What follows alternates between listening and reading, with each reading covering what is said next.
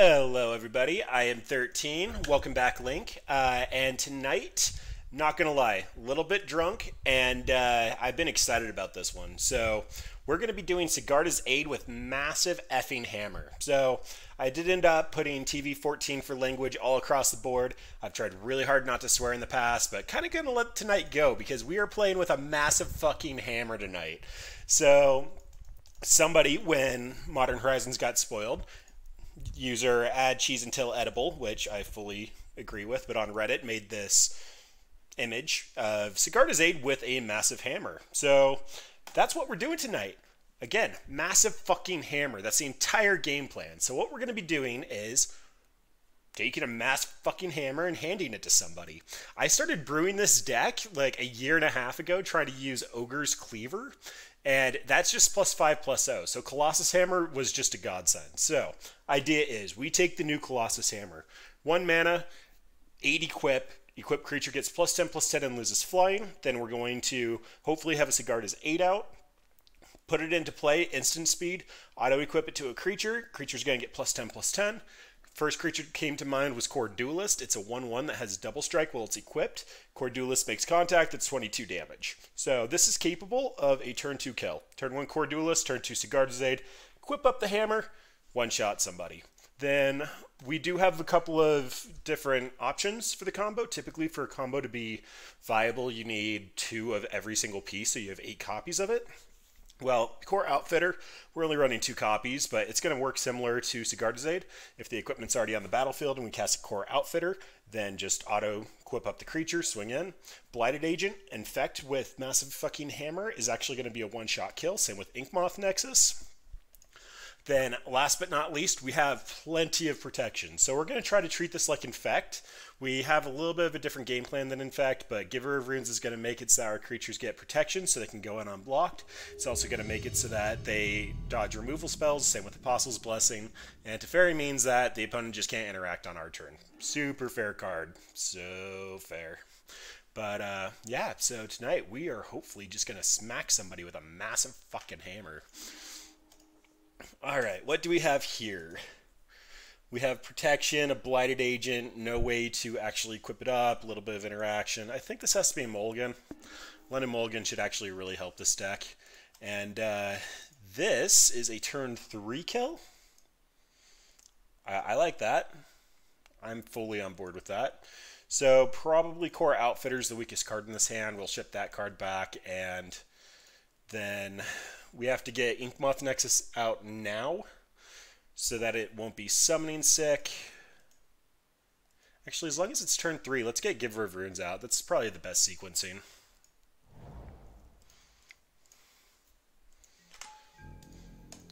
But Inkmoth Nexus comes down next turn. Sigarda's Aid. it's burn.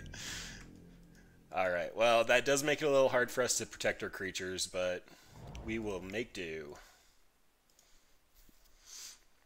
Uh, actually, do I just want to attack? If I attack, I hit for 10, and then just another attack off the Giver of Runes. They won't be able to kill her.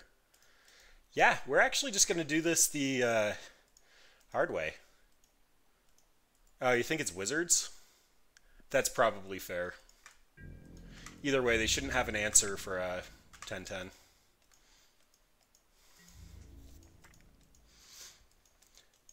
Then we don't really have a backup plan.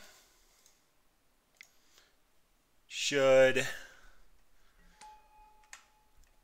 the hammer actually fall off of the Giver of Runes, but whatever. This is a turn to 11-12. yeah.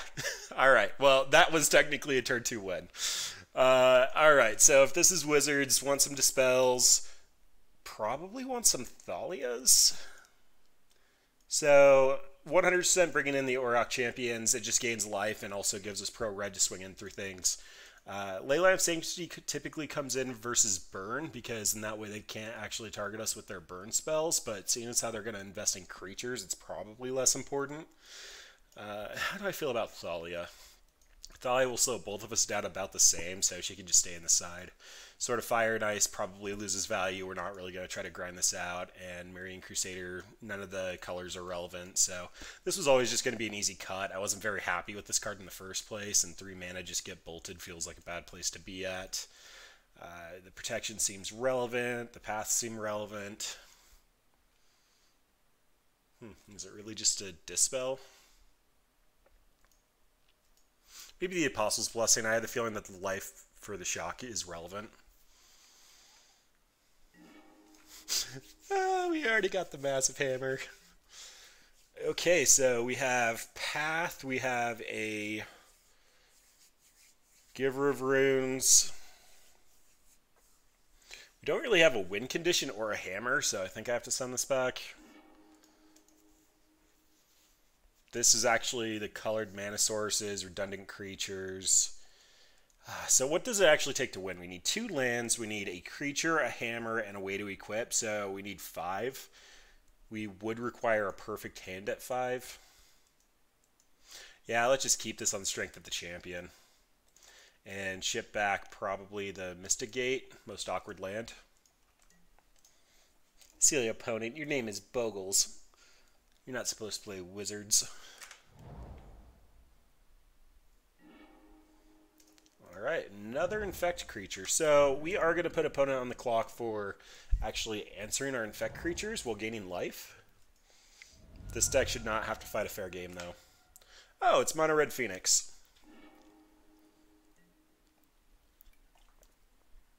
So, potentially just dead here? Two Phoenixes. and a lava dart. Okay, don't really have an answer to that. So currently on a three turn clock, well two after getting hit. Yeah, we don't have that. That is some fast, exciting magic. So Thalia 100% coming in at that point, Silence coming in. Silence is going to be better than the Dispel or the Spell Pierce. Thalia is going to be better than both of those. So I can hit a Manamorphose here and put them off their tempo. Spell Pierce can also hit Faithless Looting. Actually, hitting Faithless Looting on the play might be relevant. Apostle's Blessing is significantly less relevant. Uh, the sad thing is that they can win fairly without the Phoenixes hitting the bin, so rest doesn't actually do much. Yeah, I think that's how we're running it. Just need to actually get a better hand. Okay, this is a turn one spell pierce, or actually so this just needs a hammer to go off as well as interact. So we are 100% keeping this. And I suppose we'll just put opponent to the bolt test first. Mm, I have blue coming in the waist. Yeah, let's just get a basic. I want to keep my life total as high as possible.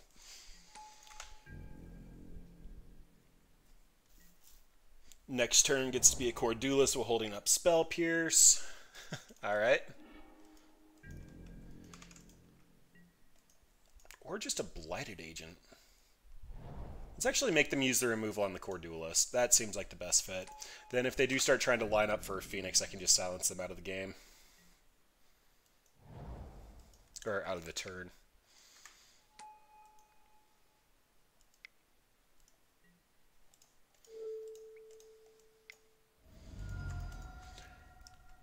keep the duelist alive, then technically if we draw... No, we don't have the win yet. That is very close to the win, though. So Sigar's Aid means a hammer is lethal in the future, so I actually think I'm going to commit to my Blighted Agent here.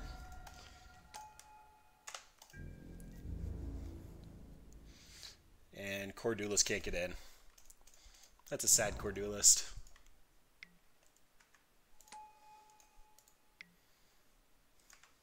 Oh, alright. They are going heavy on the creatures here. Massive fucking hammer. Come on, off the top. I don't ask for a lot, but I do want a massive hammer. Okay.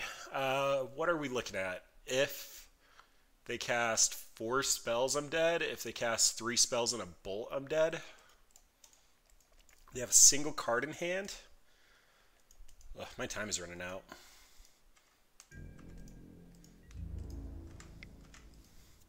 So I need a land and a hammer if I want to silence to protect my creatures first.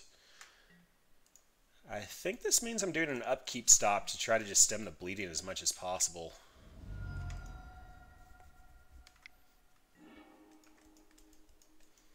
Alright, they're going deep.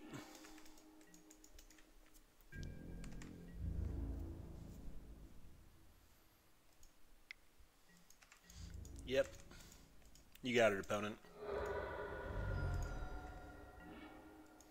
Another Sigarda's Aid. Alright, well, this outfitter's actually not doing much in hand, so may as well get some blockers out. And I actually don't think attacking was correct last turn. I could have double blocked a Monastery Swiftspear with the silence up. And I'm going to hit them for 10 or basically not kill them.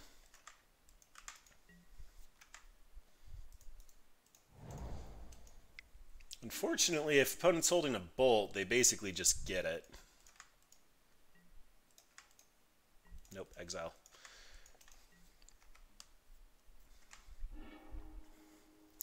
Lava Dart, Abrade.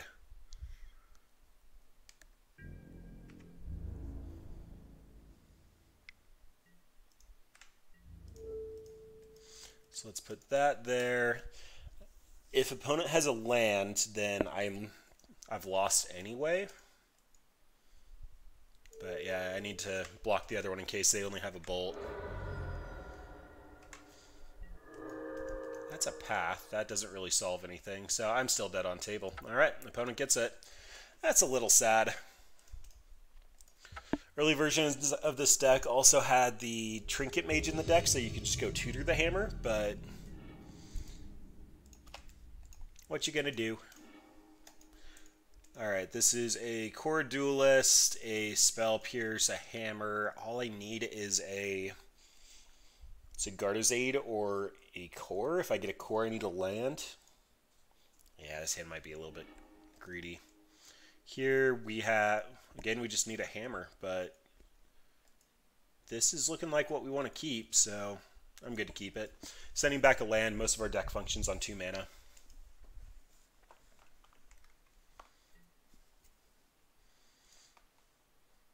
And I don't actually need the basic.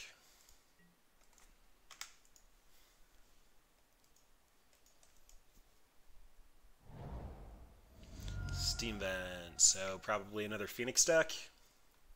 Seeing as how it wasn't a fetch, it could potentially be Storm.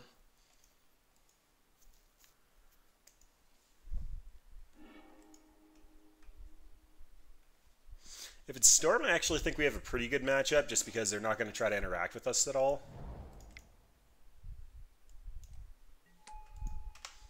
If it is Phoenix, I probably should have led on Giver of Runes, but trying to maximize the one-shot kill, looking more like Storm at this point. Yep, that's a Baral. That's a Teferi. So this is probably going to be a path. I want to do it on my turn to not add to Storm count and a gifts. I mean, sorry, giver. Thinking storm. Storm on the mind. Alternatively, I could do a Sigarda's Aid here, but I honestly don't think that the opponent should be interacting. They could potentially have a remand, but Sigarda's Aid costs one. Giver can give protection if they get another blocker.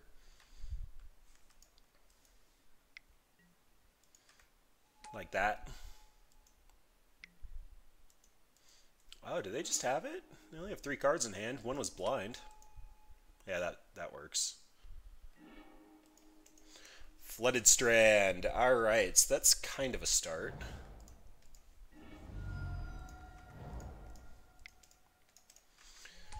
Gonna bounce one of the mana dorks, just set them back to where they need to be at, and there's not much of a point to attack.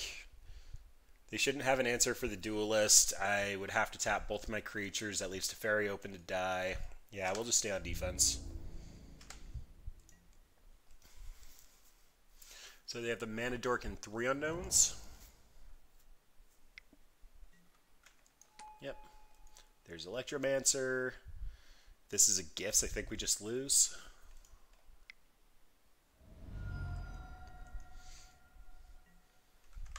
Right, let's see what you got. Expecting this to be a Ritual Ritual, Past in Flames, and probably a Manamorphose. Not sure if they can get their storm count high enough, though.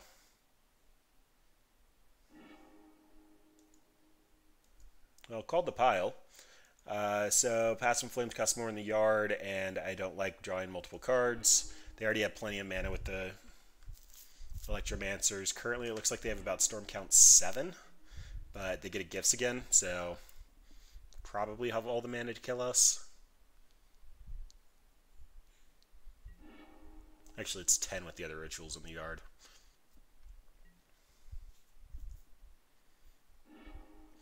Next gifts pile gets another Past in Flames. So they do need to have another Past in Flames in deck, which they should, but we'll take a look at the next pile and see where that gets us. Uh, I need to turn off auto yields.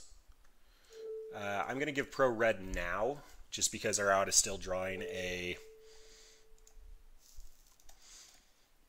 whatever it's called, and this way they can't Grapeshot.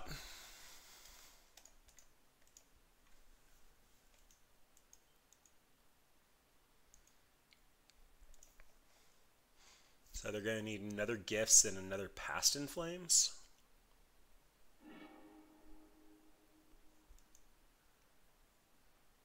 Huh. Do they have the other past in flames? Alright, bend the cards to draw. And the win condition.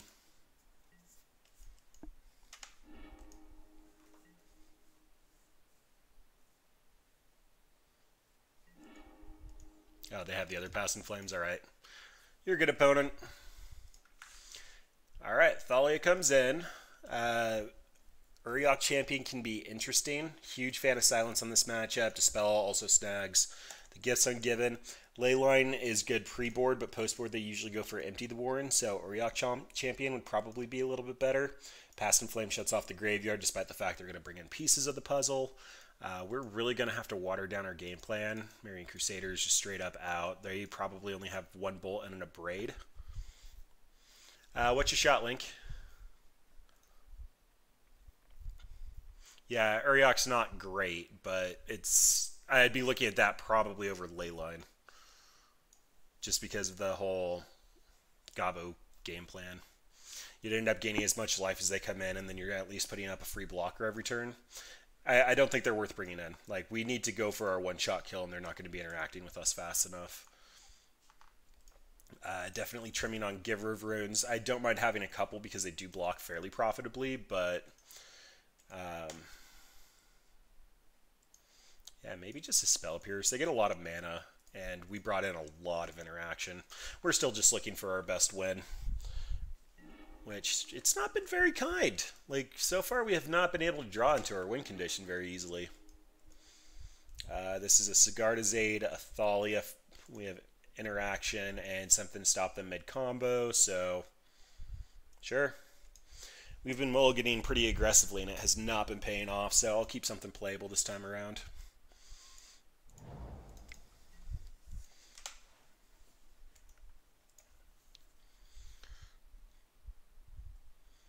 This means Thalia gets to come down. Should make life a little difficult for them.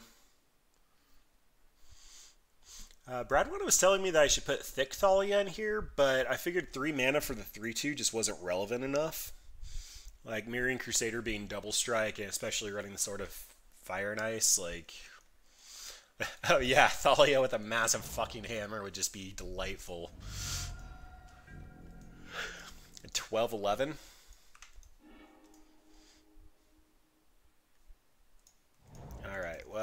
opponent left up one mana for an opt, so they get to do it for Thalia. If they left it up for a bolt, they're going to be mildly disappointed.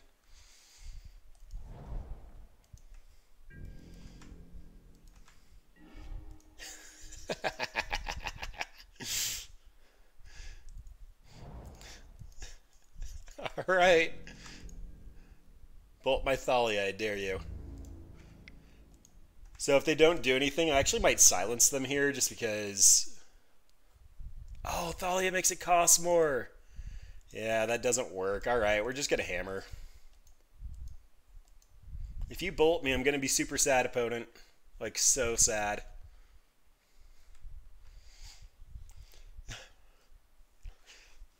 and we thought 3-2 Thalia was thick. What's a 12-11 Thalia? Oh, that's so aggravating. Alright, so we need to find a Teferi to bounce the hammer, or we need to find a... Oh, my chat disappeared. Yeah, my, uh, my stuff is not lined up at all.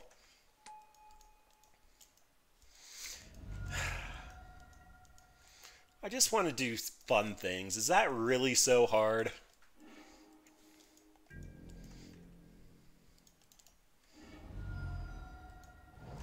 Alright, well, that's an Inkmoth. So an, a core will do it. A Kor Outfitter should be able to get us there. And definitely going to path during their upkeep. I don't want to give them the mana this time around. They shouldn't be able to kill us here, so... Okay to go for it now. It's possible that they just like ritual into a gifts, or actually just fire off a gifts. I wouldn't be surprised if they just go for a value gifts here.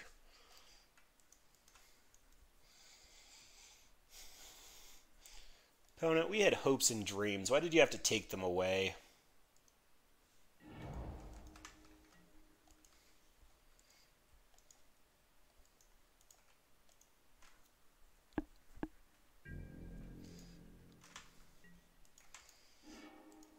Wow, and uh, apparently our deck wants us to draw all of our mana. So I actually don't want to activate the Inkmoth Nexus. Again, we're going for a one-shot kill here, and it's probably going to be better off just not swinging for one every turn.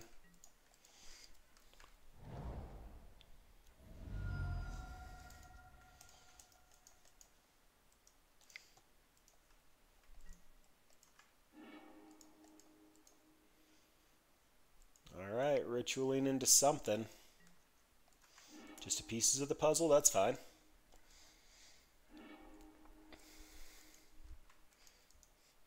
Gets rid of a dismember.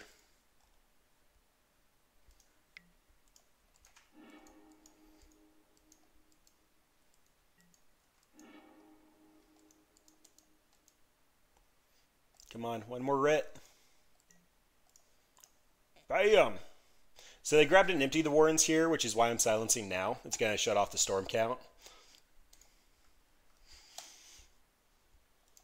And empty just a bunch of cards out of their hand.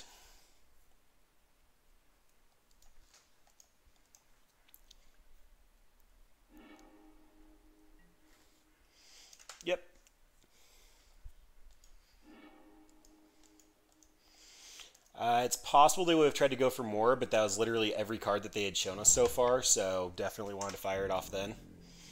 Equip 8. We're getting dangerously close to Equip 8.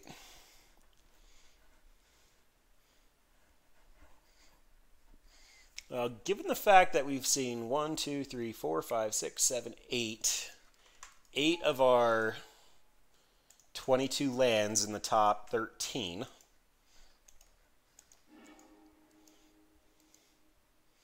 Yeah, I need to have a creature, though. If I top deck something like a Thalia, it means I do get to put Colossus Hammer on her, but I'm drawing lands! Ugh.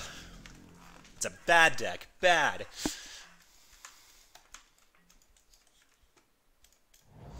Apparently my deck thought that I wanted the 8 mana to equip the hammer. I need 10 to put it on Inkmoth Nexus. For shame, deck, for shame. I stopped keeping track of what opponents doing. They basically just have it. We flooded out insanely hard.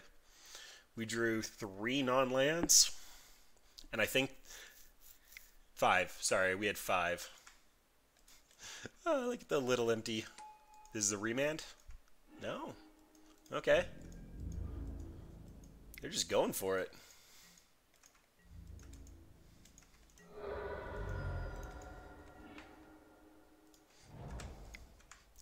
Alright. Are you freaking kidding me? Alright, so five, six, seven.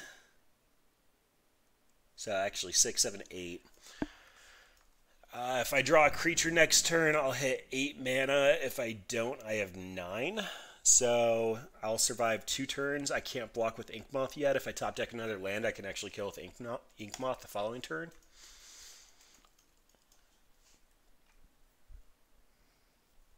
This is when we need to pull up the hypergeometric calculator, though. So population size 60. We have 22 lands. Our sample size is 16. And how many successes have we had? We've had 1, 2, 3, 4, 5, 6, 7, 8, 9, 10, 11. 0.0027. Ah, I feel like that happens to me a lot. Like a whole lot. Leaving one goblin back? Are they expecting a hasty creature?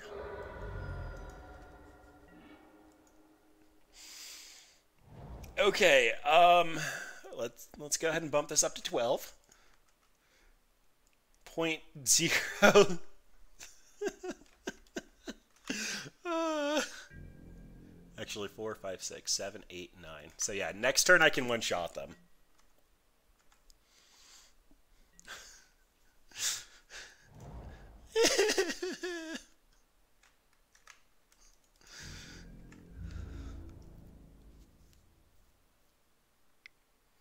oh, they're leaving the goblin back because the Inkmoth is going to lose flying.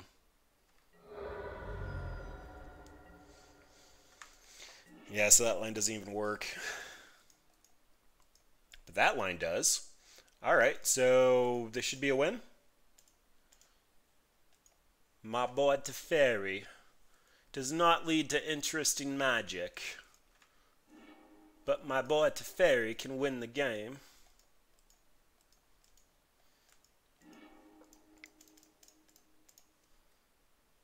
So Teferi comes down. I'll still have three mana. I won't be able to activate Inkmoth if they remand again. Alright, pick that up.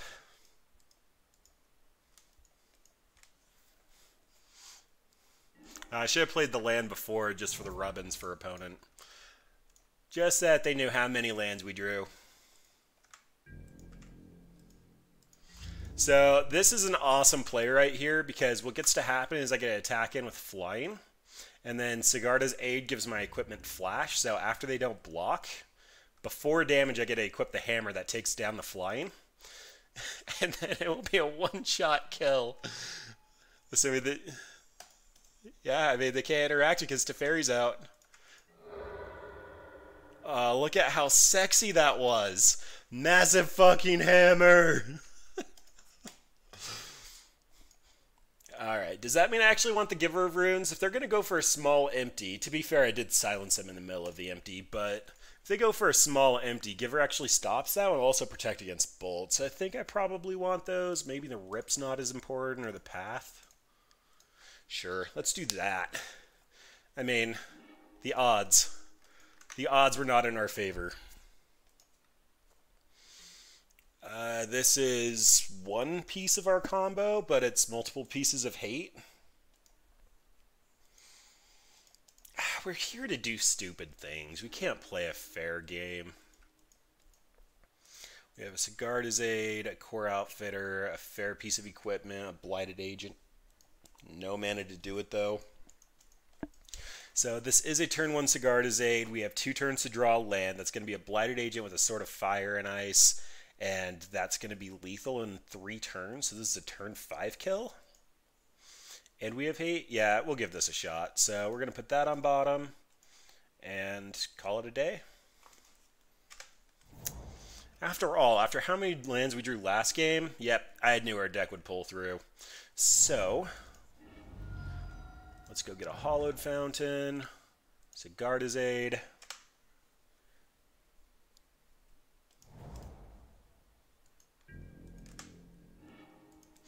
We even got an Inkmoth Nexus. Okay, so that's pretty impressive. We have another win condition lined up. Opponent, did you keep a bolt? Oh, you're going to remand me, aren't you? Apparently not. tap out, tap out. For an electromancer, preferably. I mean, I'm not going to tell you how to do your job, but if you do an electromancer and I get the opportunity to do a free Sword of Fire and Ice. Kill the Electromancer. All right.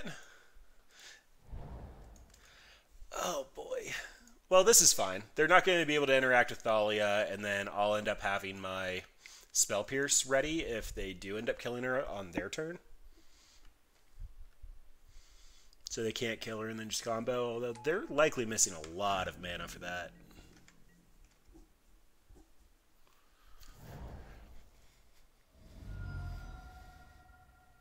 Four mana here might just be a pieces of the puzzle. Hmm, okay.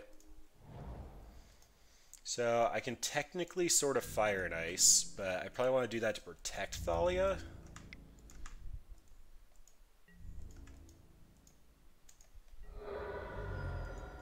Yeah, I think I'm going to use it to save her from a bolt. It sucks being responsible.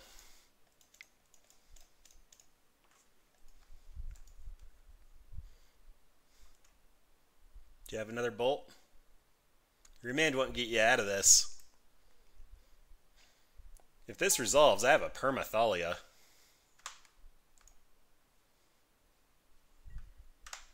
Bam! Protection from your deck. uh, so the lightning bolt's red, Sword of Fire and Ice gives the creature protection from red because it has protection it can't be targeted by, so it gets countered by game rules. Now we have a Spell Pierce and a Silence stapled to a permanent Thalia that can't be blocked. I like this. Uh, Baral negates Thalia to a point. But... Uh, let's actually just make some damage happen. Between Spell Pierce and Silence, we're probably okay here.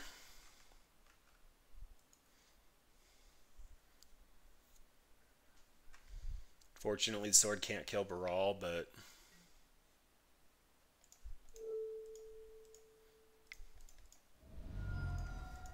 Uh, I should have done that with Hallowed Fountain. Odds are I'm not going to have to silence here. I just took one damage for no reason.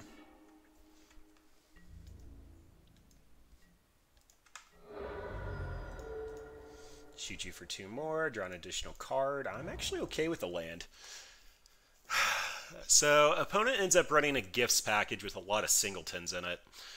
The Lightning Bolt and the Abrade are both tutorable, which means they probably have like a Shattering Spree in hand, just because it's a different name. If I end up casting the Rest in Peace here, it's going to shut off... Whatever. Let's just have Silence. If they try to Rest in Peace, we can Silence, and if not, we'll just untap and Rest in Peace and still hold up Silence they're running out of cards in hand. They have two turns before they're down. Like our equipment's actually putting in some damage here. I mean, it's not a massive fucking hammer, but it is a Sword of Fire and Ice.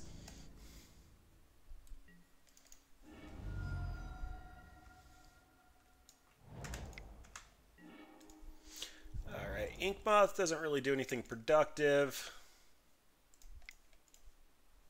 Let's go ahead and rip. I probably should have attacked with Thalia first, just because this is going to let me see an additional card, and I may not have wanted to rip depending on what I top deck. I'm feeling fairly confident at this moment, though.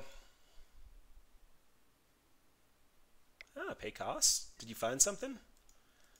Uh, they got an Echoing Truth. Yeah, so that was another reason not to play the Rest in Peace, because that would have meant I could replay Sword of Fire and Ice. Now, that means that Thalia can die to the Baral. Yep, that's painful. Well played, opponent.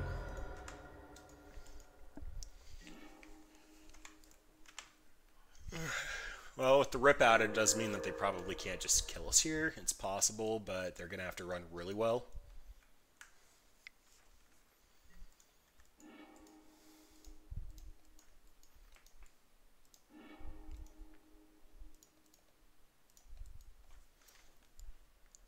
I didn't do that right. So they got rid of the Spiral Bluff, the Manamorphose, and the Desperate Ritual. Here's the Peer Through the Depths. Oh, they did have another Desperate Ritual. Okay, they just revealed two.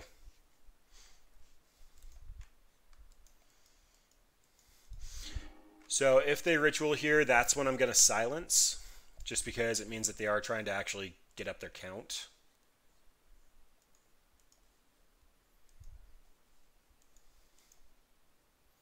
So right now storm count should be two, but this would mean that they're tapping out.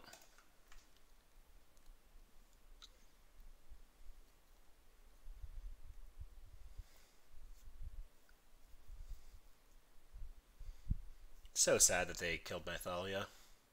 We needed a hammer. I can't imagine it was correct to silence them before I attacked. Maybe on the following turn to actually prompt the Echoing Truth. Uh, it was just all playing the rep pre-combat.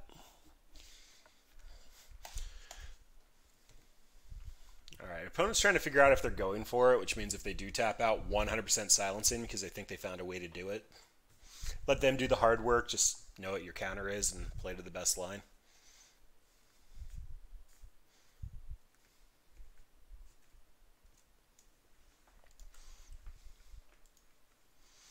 So what do I want to draw? I think I just want to draw a hammer off the top. Hammer off the top means I'm one-shotting with Inkmoth Nexus.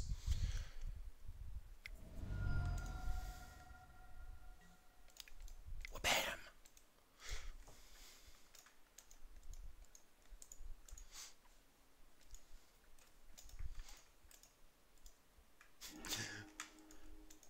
Alright, so how much mana do I actually have here? I'm going to pay one for Inkmoth Nexus. I'll have three available, so I'm going to be able to attack in with two Inkmoths. One with Sword of Fire and Ice, putting them on a two-turn clock. Inkmoth becomes a creature. Oh, sorry. Didn't realize I covered his life. I meant to just cover his name. That that's better. Okay, and then activate. Still have three mana left. Or actually, I don't want to do that. So what I'm going to be doing is hitting and trying to draw into a better card.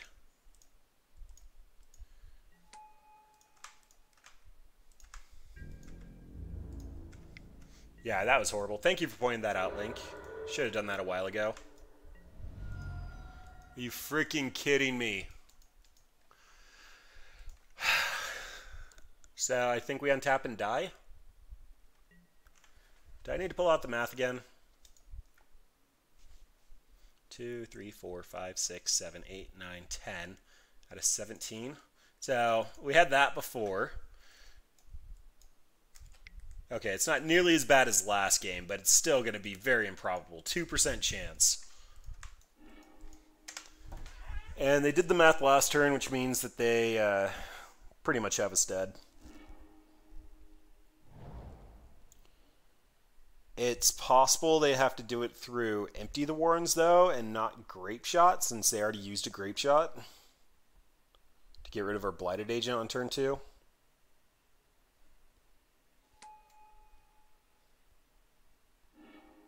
Yeah, that's actually not that bad. So that does put us dead in two turns, but basically any equipment's still going to let us win, and they have to be holding removal.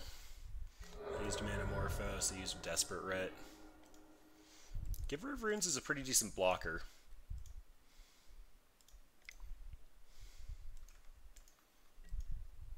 Now the question is, am I going to be going for a Goblin token here to lower the clock on myself, or am I going to hit them and have them dead to both infect and regular damage? So if I hit them, I basically have to hit for three more attacks versus poisoning for for next turn? No, I'm going to go for poison next turn, so we'll hit a goblin.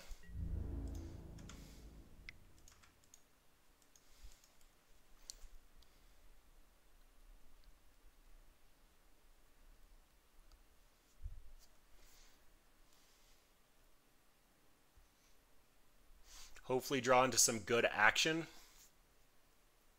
Good action will solve all problems.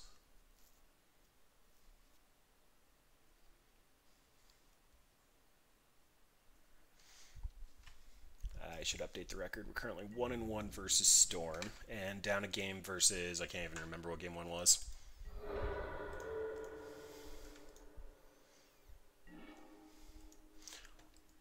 Okay, uh, so this is going to be 18. This is going to be 11. 1.1%.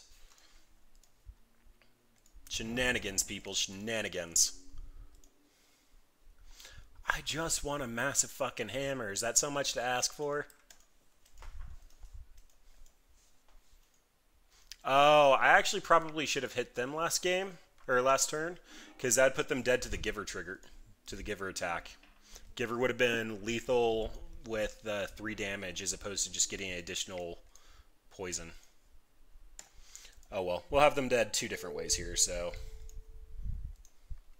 This means Baral can't get in, so they should only swing in with the five goblins. Gonna eat one of them. I mean, still in a pretty decent spot. Just not everywhere I want to be at.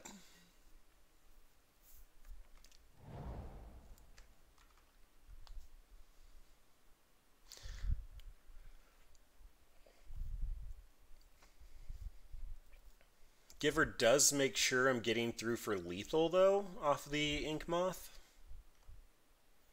Just because I can give Pro whatever color to the one that he tries to attack. Did that to draw a card.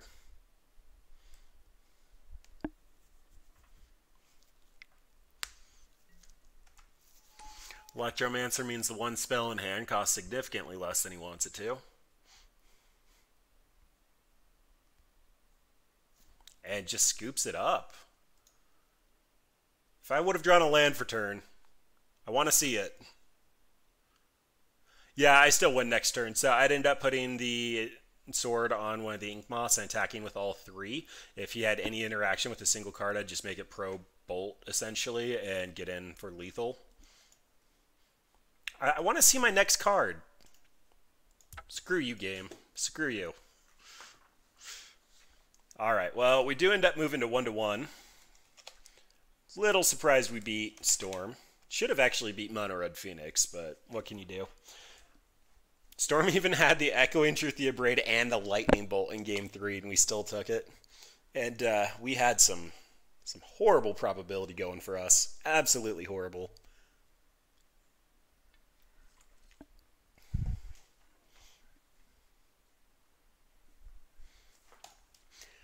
Yeah, but like 22 lands should not be overkill when four of them are infect creatures that are going to swing out for lethal with your game plan on a single turn.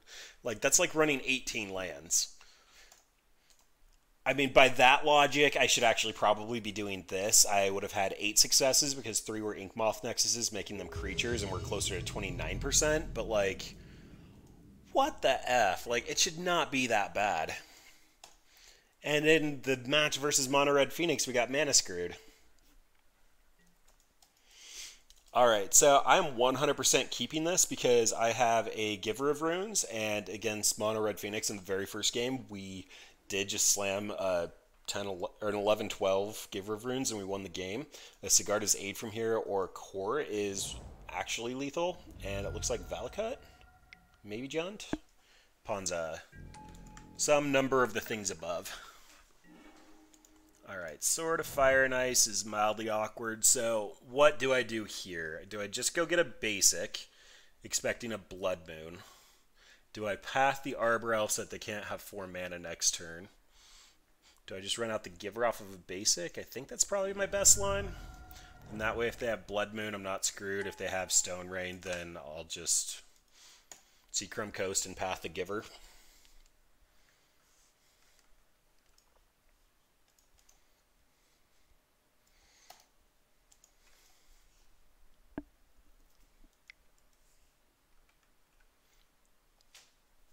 Oh, so they don't have a second land? They're gonna... Okay, I don't know what's happening. That... They just missed out on two mana? Oh boy. Apostle's Blessing. So, I know I'm playing my only plains. Or my only land. I kind of want to hold up path here. I kind of actually want to put a hammer out on the battlefield, so if I draw a Kor, I can just cast it. But opponent's looking at six mana next turn if I don't do anything. If I path and they draw land, they're still looking at six mana, so I'd have to path on upkeep. Blighted Agent could do something, but they should have a number of bolts. Um, Sword and Fire and Ice can't even come out yet. Yeah, so what I'm going to do is I'm going to tap the plains incentivizing a Stone Rain to hit my non-basic because it's untapped and put out a Colossus Hammer. And then he could be Tooth and Nail. It's not unheard of. The deck hasn't seen much play in a bit, but I think I have to see if he's doing Inferno Titan. If he's doing Inferno Titan, I can Apostle's Blessing.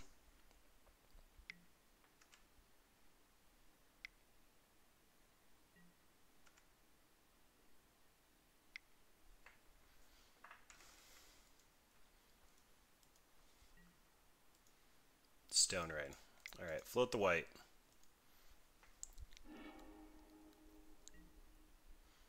Wow. Okay. I'd like to stay in this game. It's not looking very likely, but I'd like to stay in this game.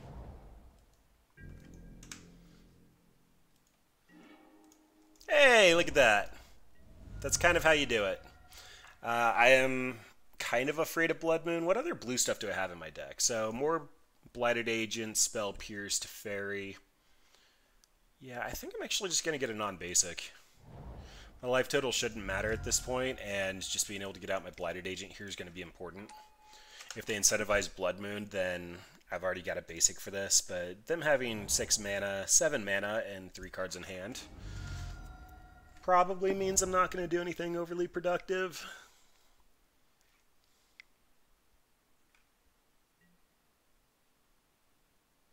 Okay. Still drawing live to a Sigarda's Aid for whatever it's worth.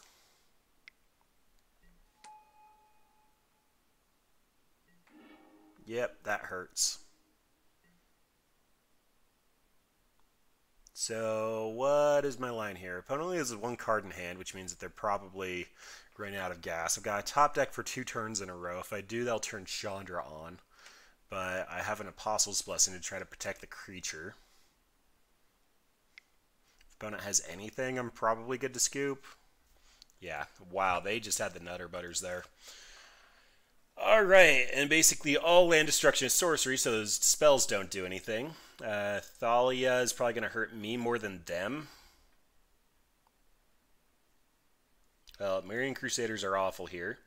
Probably want I, I don't even think I want anything.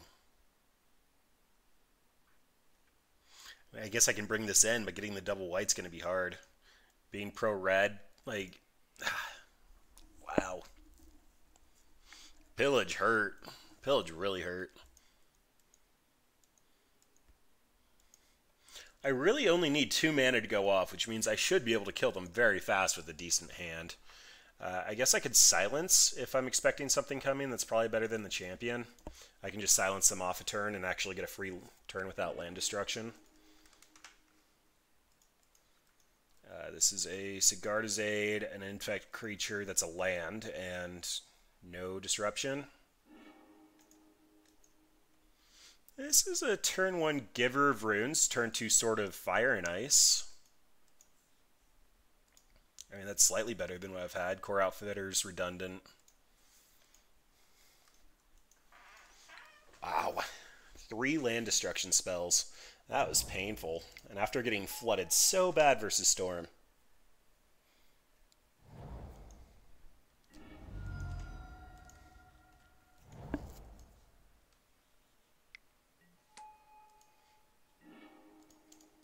All right, so Flooded Strand's going to be the best here. Can go get a basic if that's their game plan. Then I don't have another creature, so Giver gets to attack in for free.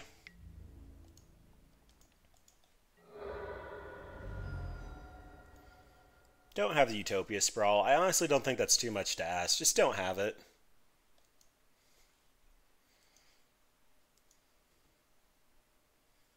Like, even Blood Moon's kind of okay here.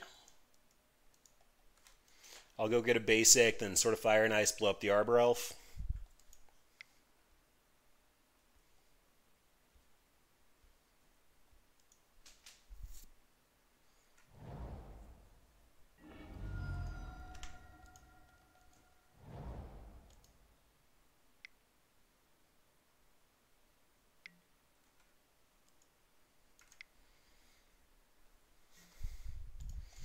All right. Well, that's a start. Massive fucking hammer off the top.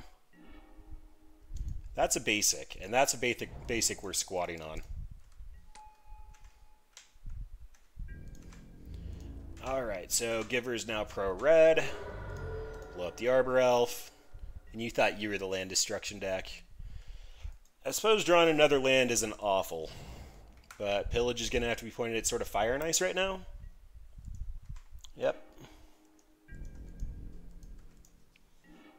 Where are my hammers?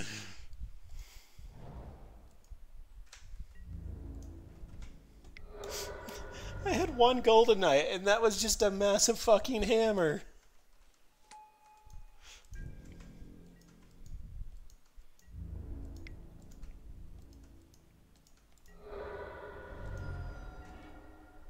That's not a massive fucking hammer. Uh, so it's probably more correct to do this during their upkeep. I want to... Does hitting for one actually accomplish anything here? Because hammer's going to make anything an 11.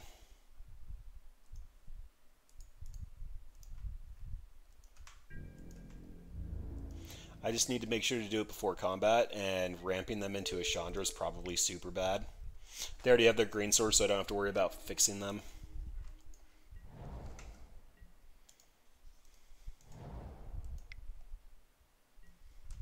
And they have another Rabblemaster.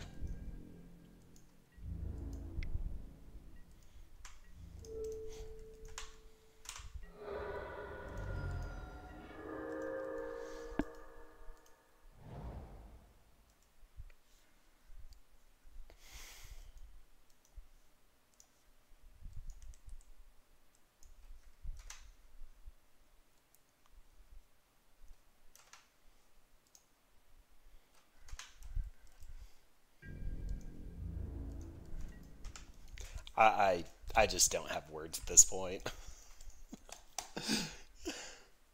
I can't tell if the deck's trying to be good to me or bad to me because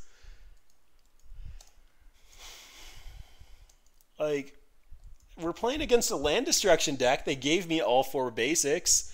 They gave me multiple lands to get around all of the basics. Now I'm dead on the crackback. So I need Massive fucking Hammer this turn. I'm saving the Apostles' Blessings so I can get in unblocked. There we go. So I need to do Pro Red first. And they don't have anything.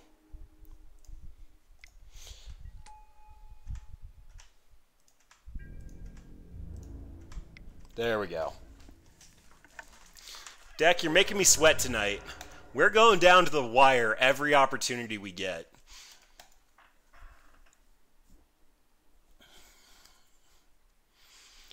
Alright, so Thalia on the draw is probably actively worse than on the play, and I didn't even want her on the play.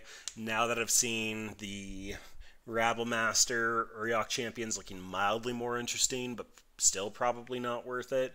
I just have so many unblockable creatures uh, actually, seeing those, I probably want those over silences. Silences can buy me a turn versus land destruction, but that's just buying a turn and not doing anything productive.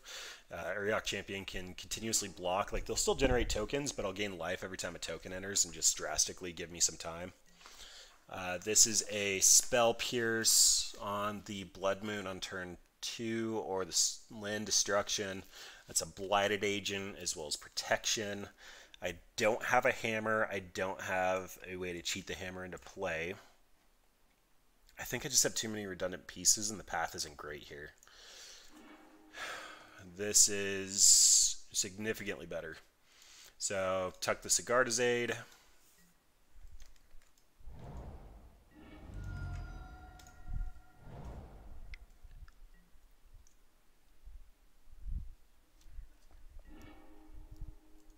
Look at that, a turn you didn't start off with a Arbor Elf. Still going to be a turn 2 Blood Moon, but I have a Spell Pierce for that. Honestly, the Blood Moon's not that bad. I just don't want Pillage here. Or Stone Rain, but that's fine. That's why we have a Spell Pierce. We're good at this game.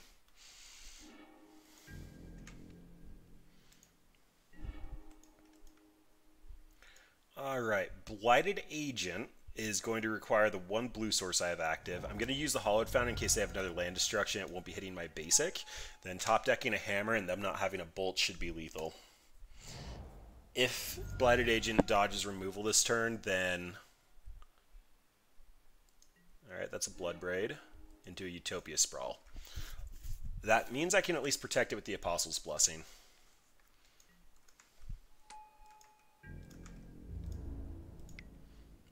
To Chandra. A Thundermaw Hellkite. That actually really hurts my deck.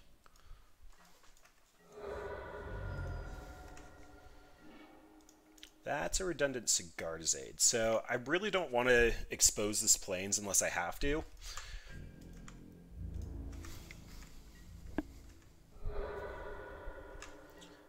Do I want to path the Bloodbraid Elf? Probably not.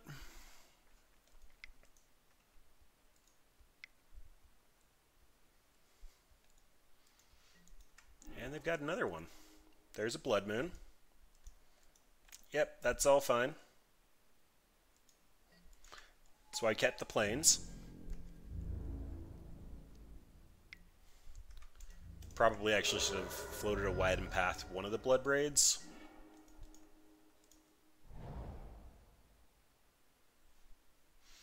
Actually, by that same logic, I probably should have just played a plains and actually pathed one of the Bloodbraids. Now I'm going to be dead to a Lightning Bolt. Although Lightning Bolt would have been pointed at Blighted Agent, I guess I'm dead to another Bloodbraid Elf.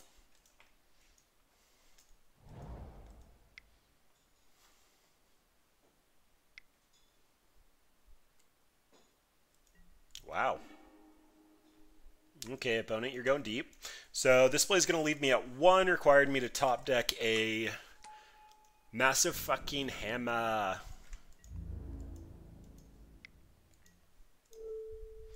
Target creature, pay two. We're going to give it pro red. Block one of the Bloodbraids, take six. Top deck a massive fucking hammer.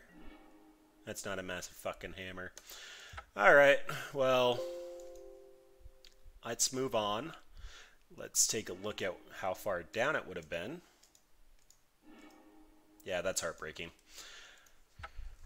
All right, well, move to 1 2. Uh, anyone familiar with my streams knows that this is a 2 3 bracket. Sorry. Yeah, king of the 2 3 bracket. Take piles in, usually go 2 3. Usually not the best, but given the fact that we're playing this just because we want to play a massive fucking hammer, it kind of makes sense. So, on track for that. We can still actually cash out. We can do some fun stuff there, but yeah, I mean, we're basically just looking for the hammer. Um, so the card that I was using before, I actually can't remember the exact name of it. I think it's Ogre's Cleaver. I know it's a cleaver. Yep.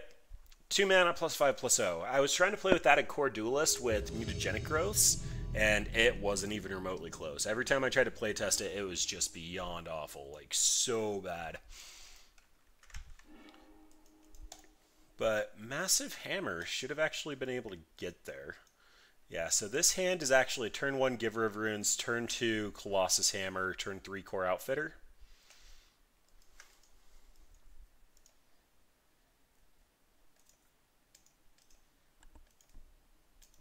These Mirran Crusaders have been incredibly awkward. Just the fact that it already had Double Strike and it had relevant protection felt like it was worth having. I love this card. It's been fantastic. I've hit it off of Coco's to win games before, but I don't know if this is the right shell for it.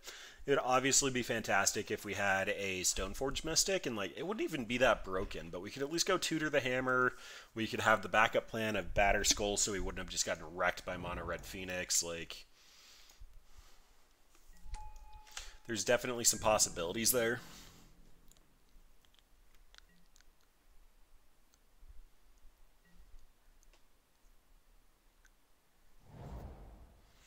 And it's Tron, so we actually do have a possibility of killing our opponent here.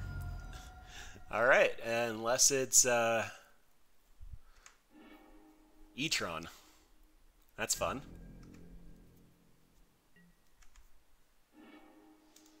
So this is going to be a Colossus Hammer, and then the following turn is Kor Outfitter, attach itself, then Apostle's Blessing for pro colorless, and hopefully just kill them. Uh, with it being Etron, I think I do actually want to get a Hallowed Fountain, just so I have both whites for my Kor Outfitter, and I messed up. I should have done that. Tapped at their instep.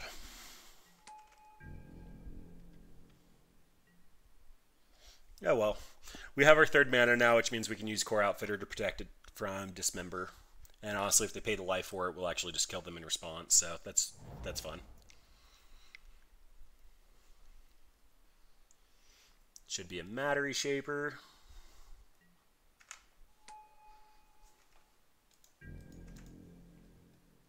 So I do have to cautiously take this turn thinking about what a Thought-Knot Seer could take from me. Oh, that's that's brutal.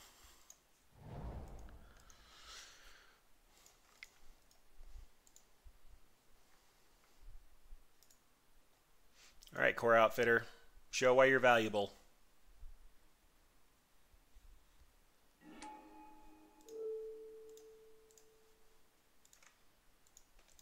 I have a 12-12. What do you have? I'm going to leave the Apostle's Blessing up.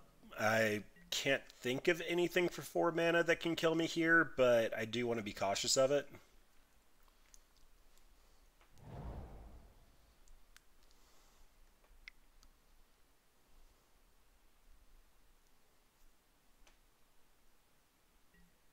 Yep, as expected, the Thought-Knot Seer.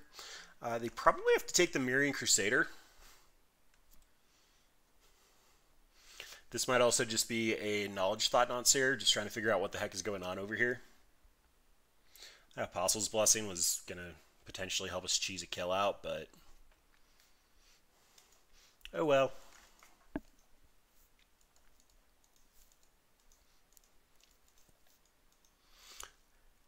Uh, attack with the Matter Reshaper, top deck it Teferi. My hopes and dreams. I must just want too much.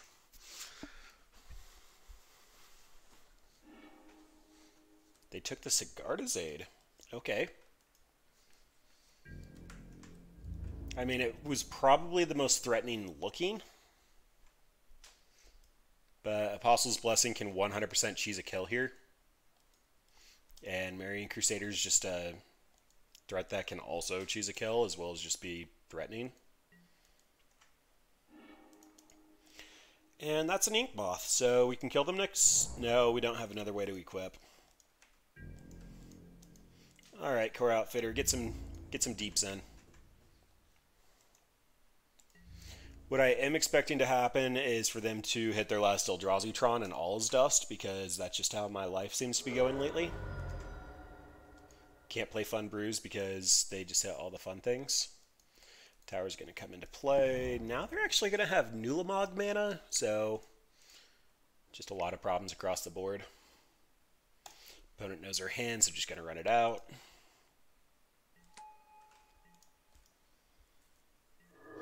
Kor Outfitter is actually lethal too. I'll just Kor Outfitter, move the Colossus Hammer to the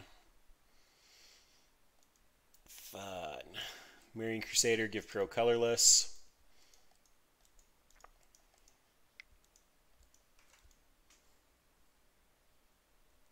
So, Reality Smasher.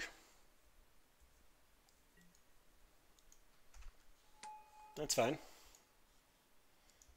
When your Thought-Knot Seer's on chump block duty, you're not in a great place.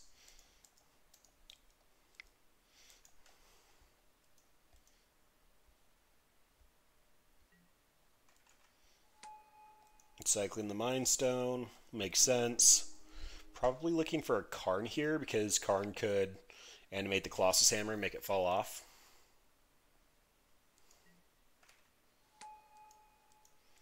Wow, just going deep.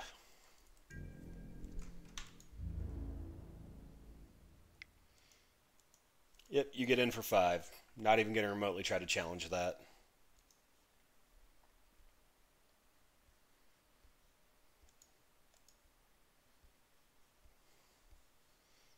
Would you like to move past combat? We're both tapped out. No blocks. Kor Outfitter, please. I knew that was asking too much.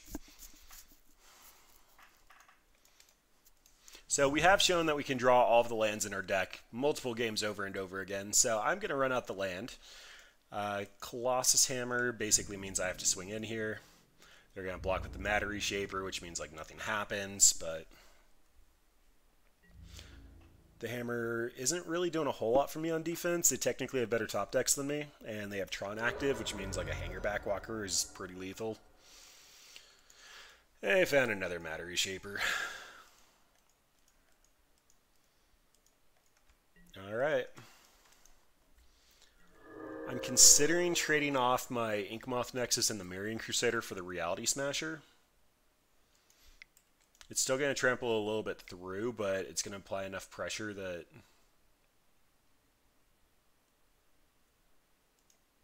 Okay, this can't be good.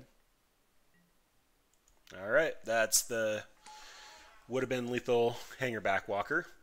So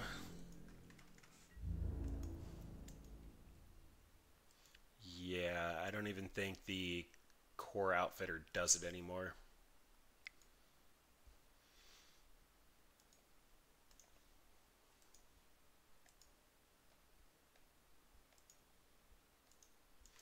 Let's see, so I can block the Thought-Knot Seer. They're going to have to pop the Hangerback Walker, or I'll draw a card. Oh, I just punted. I'm going to lose off of that. Yep, we're good. We're moving to the next game. And your backwalker can just shoot me for the rest of it. Uh, I don't have Stony Silence. That's awkward. Wow, I don't have anything for this. All right, let's just be faster. It's kind of sad when a 12-12 can't beat Eldrazi Massive fucking hammer, not going the distance. Hanger Walker is just going to absolutely wreck our deck. Yeah, definitely needed a number of Stony Silences in the deck.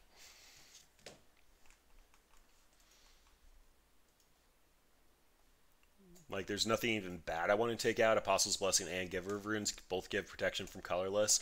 If they didn't have Dismember on turn one for the Giver of Runes, that would have been a completely different story. I would have just attacked in unblocked.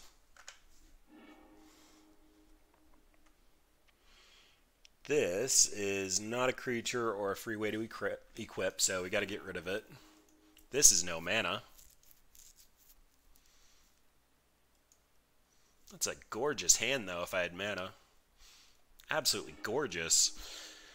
Uh, this is a Giver of Runes to eat the first removal spell, a Kor Duelist, and a Kor Outfitter. So I got to ship back an Apostle's Blessing and a land the colorless land.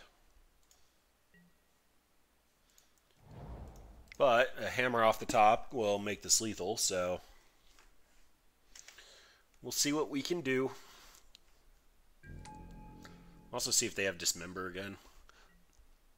That Dismember was just 100% won them the game. And we do not have a great sideboard.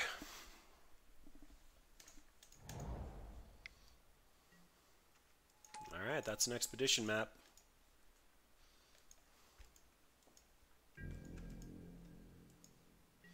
Oh, giving protection from colorless means that my equipment's going to fall off.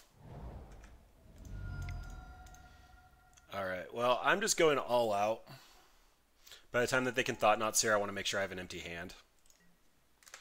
And honestly, having two Kor Duelists makes it so that the Giver of Runes isn't nearly as good. I don't need to protect just one of them, so...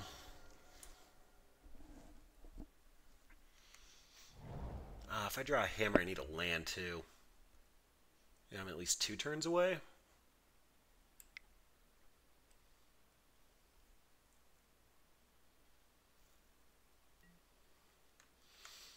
Chalice the Void on one. That shuts off my hammer. Doesn't shut off Sword of Fire and Ice, and Teferi can bounce it.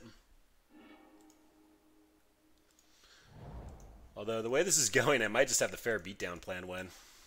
And just put some power out. So they can't crack Expedition Map yet. A Thought-Knot can potentially come down if they just naturally have an Eldrazi land. Eldrazi Temple, whatever it's called.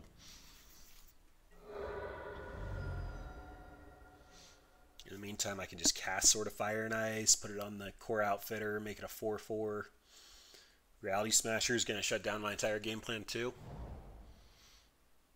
Not a fan of this.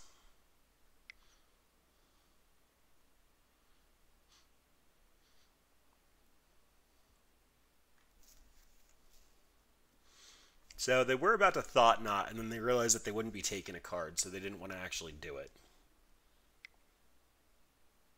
So here's uh, a Matter Reshaper. Yep.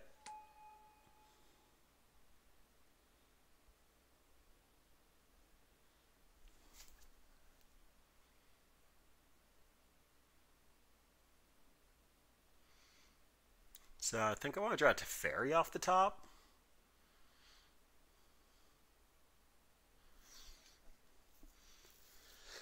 Alternatively, the Mirran Crusader is a real clock. Blighted Agent, not so much. Well, opponent knows what we got going on, so I'm not even going to try to bluff it.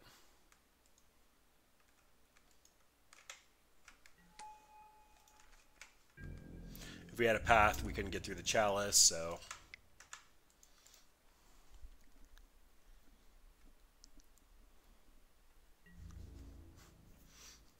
Opponent, these are my white weenies. What do you think of them?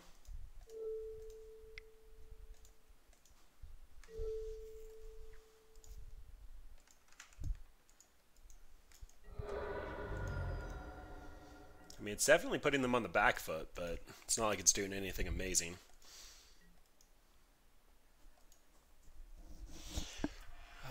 Kor Duelist, even getting double strike with Sword of Fire and Ice isn't going to go very far.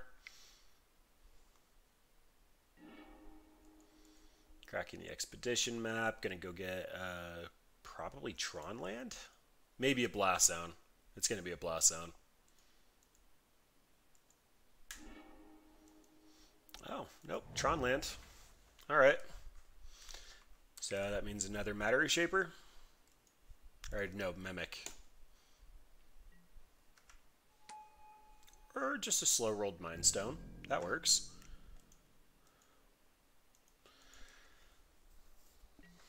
Opponent currently has 4 mana, which means a 2-2 Walking Ballista. I'm just finding more lands. Hitting my opponent for 5 is not relevant unless I draw Sword of Fire and Ice. The Blighted Agent's not really doing much for me at the moment, but it's not like it's going to be blocking a Reality Smasher. Actually, now that they have 6 mana, it might be blocking a Reality Smasher. Okay, well I do want to get to 5 mana for Sword of Fire and Ice, so I'm definitely playing the land. And what I think I'm doing is I'm going to hit for 4 and leave back the Blighted Agent, so if Reality Smasher comes down, they'll still have to assign 1 point of damage to it, but I'll make it a 4-4. And just start slowly shrinking if they try to attack with it. Odds are at this board state, though, they're going to have to leave it on defense. I'm really surprised they just didn't get a Blast Zone and blow up three-fifths of my board.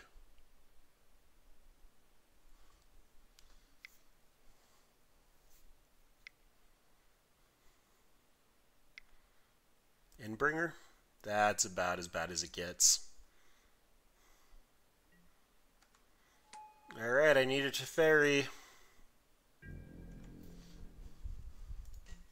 Endbringer's gonna clear all of my little dudes, make it so that my 2-2 can attack. Wow, that is painful.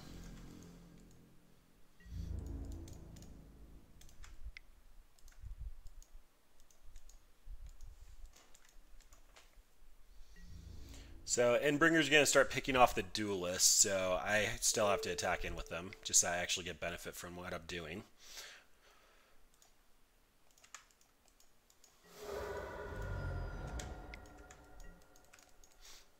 I guess it was also correct to attack in with the Blighted Agent there.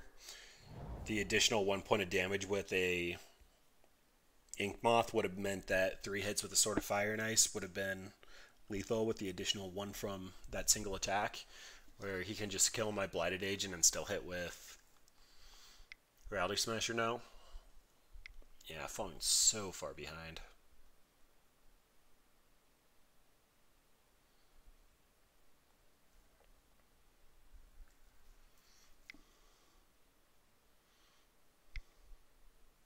Another Endbringer? So that means a Kor Duelist is going down this turn, a Kor Duelist is going down on my turn, and then Giver of Runes is going down, and then I won't be able to keep a board state. So this is my last turn to draw something productive.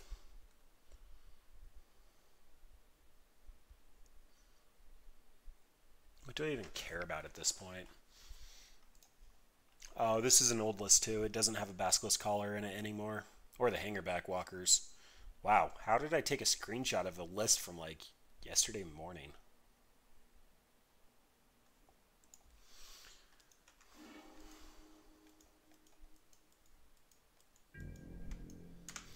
All right, Sword of Fire and Ice or Teferi. That's a path that doesn't do anything. All right, well, there's no point in continuing. They're just going to kill every, my entire board state after this, and I had nothing productive coming. All right, moving up to the 1-3 bracket. So we are going to play the last one.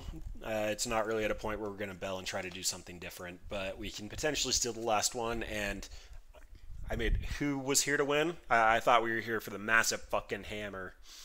So we'll go ahead and continue doing that. Let me see if I can pull up my new list because the deck view is definitely out of date.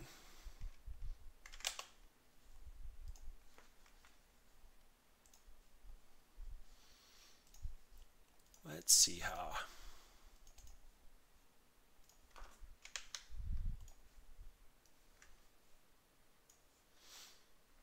Yeah, so we have Teferi instead of the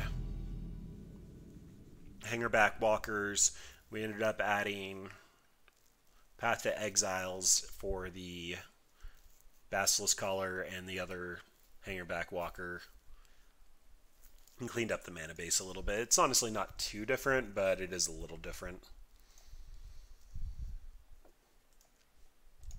Oh, my bad opponent. Did not hear the trigger go off. Uh, YouTube's asked me to turn off the MTGO sound, so I turned them really, really, really far down, and I didn't hear that one. Let's see. Single colorless land, no combo, no keep. Three blighted agents. oh. All right, well. Deck is definitely telling me what it thinks about me tonight. Sure, we'll keep this. We only have one mana, so we can send that back. And I guess the redundant creature.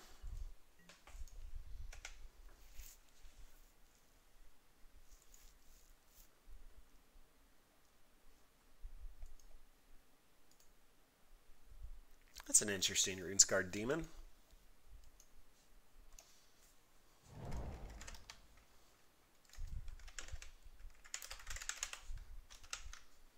Yeah, I'm used to that art. Oh, that must be an MTG only promo. Alright, so we're playing against Prison. This, oddly enough, is probably one of the few matches that we're just going to absolutely dominate if we have a keepable hand. This is going to be Ghostly Prisons, Ley Lines, and the like.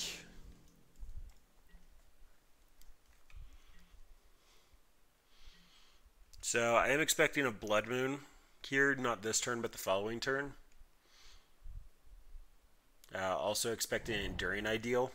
Or not, well, I am expecting Enduring Ideal, but I meant Suppression Field. On thin ice. Alright, well that's cute. That technically works.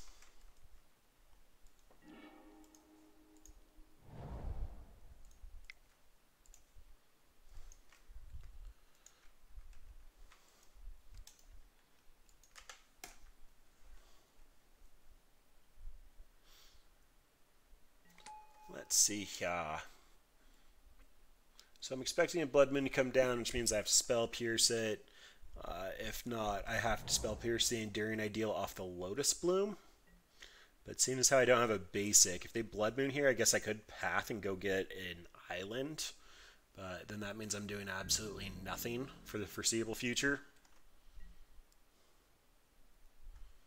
Well, they had a tap land, which means I probably am going to snag an Enduring Ideal with an untap land next turn.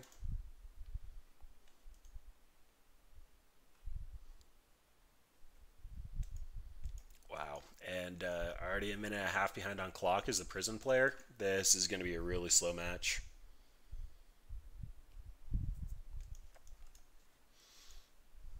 Opponent, I would like to take my turn. You're in your instep.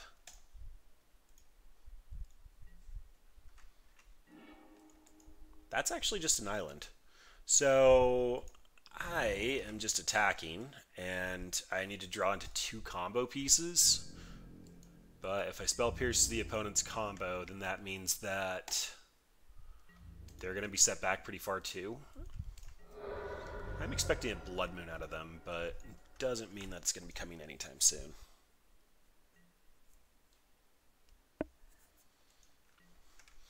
Yep, you get your Lotus Bloom. Untap land means that you get to cast Enduring Ideal.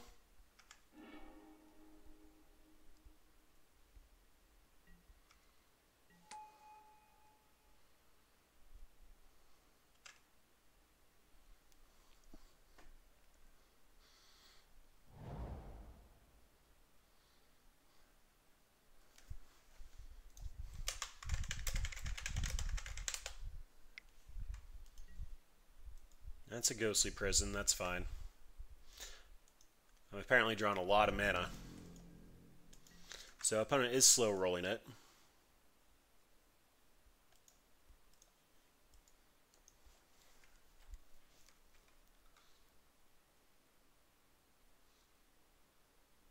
And by slow rolling it, I mean they're two and a half minutes behind on clock.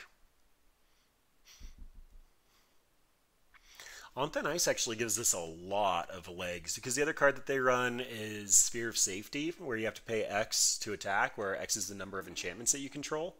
And that's effectively an additional enchantment, so it's another effect for Ghostly Prison. Well, the Ghostly Prison effect in Sphere of Safety.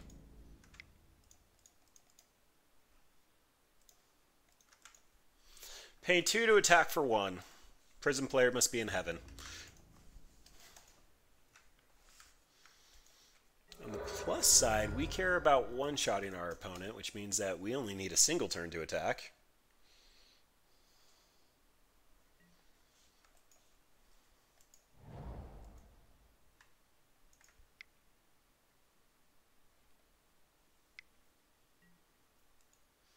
That's a Heliod. Okay, so they can start paying four to make enchantment creatures.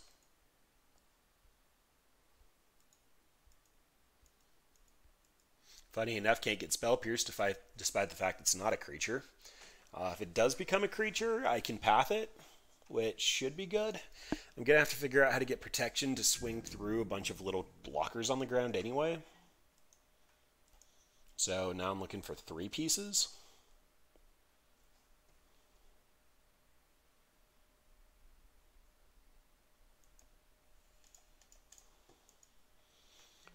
Opponent might be getting a I'm bored out of my mind concession.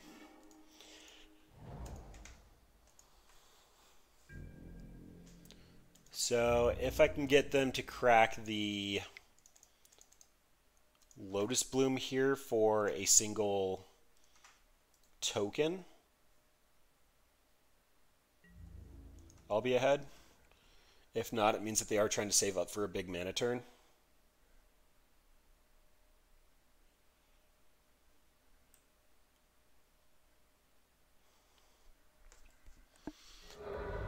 Oh boy, I really cannot fault anybody if they just fast forward through this because this is moving so slow. We were supposed to have a massive fucking hammer and one shot them. But I'm top decking lands again.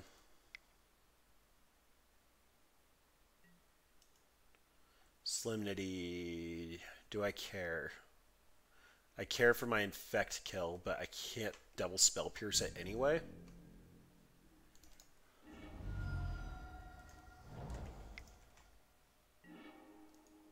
That's an Apostle's Blessing, which means I am still just looking for a hammer and a free equip.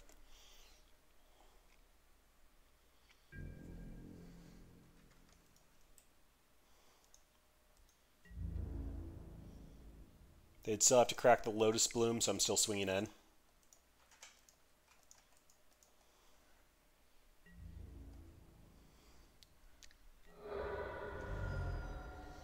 Sword of Fire and Ice would be representing 10 damage, so I am still at least two turns away from killing with that.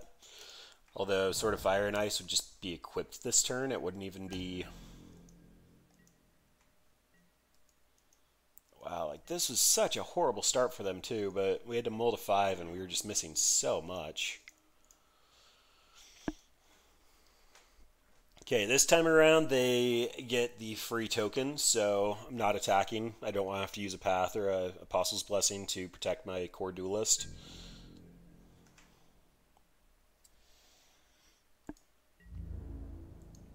Jeez, and it's so sad that like I'm looking at a timeout kill in round one just because they have done nothing. They're playing an insanely slow deck and they are falling so far behind on clock.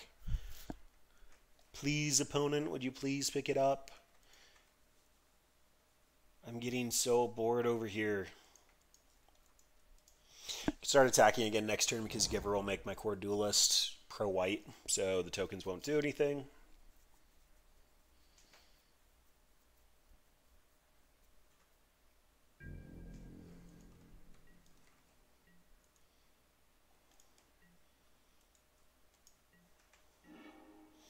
Oh, wow. Wow, wow, wow, wow. What is the current enchantment math here? One, two, three, four. So Sphere of Safety is I'm going to have to pay five to attack. So I need to draw two cards to turn on my combo, and then I have to pay five currently to swing in through it.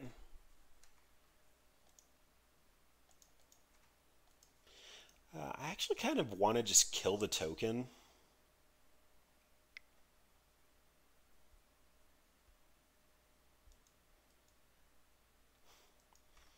I don't know. I guess if they're making two, I probably just want to have this go unblocked. They are getting to the point that they can start swinging back, so I probably got to stay on defense now. So boring.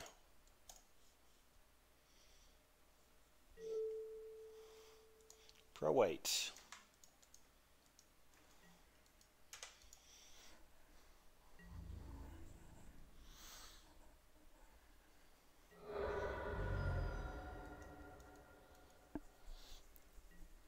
Yeah, the vigilance makes this awkward. I probably should just planned on staying on defense.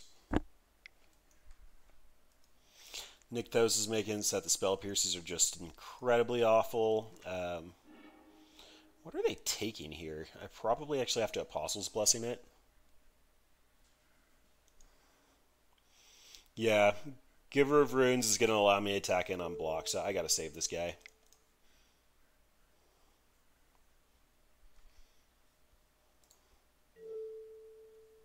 Any special effects that this has?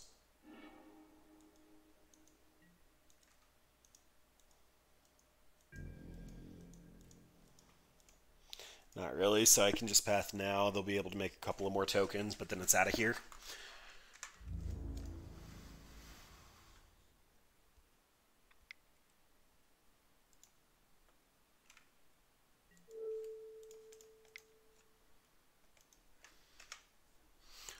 Opponent has no cards left in hand, though. I would adore drawing an actual piece of threat.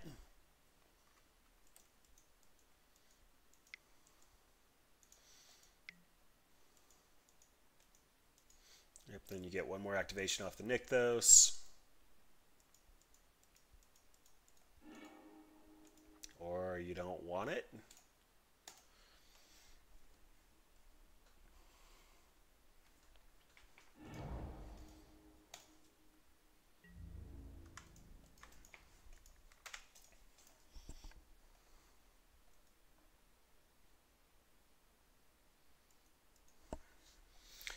All right, so while opponent takes 20 minutes to understand that FF6, gonna just double check. I'm pretty sure that I don't deal minus one, minus one counters, which means I just don't deal damage with Solemnity out.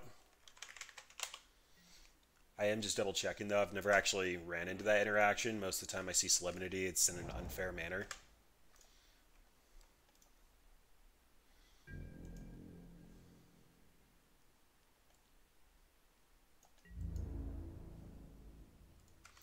Not attacking.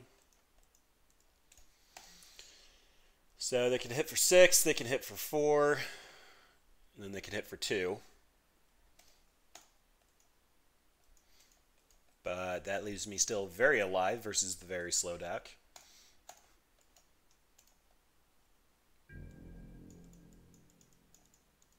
Okay, so that's Wither. Has no effect. Yeah, so Infect doesn't matter either.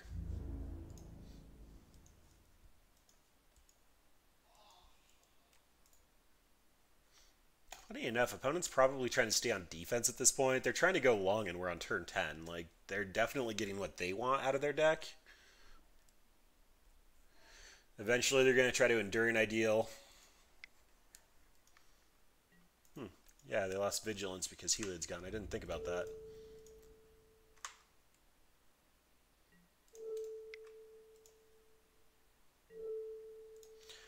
There's your pro white.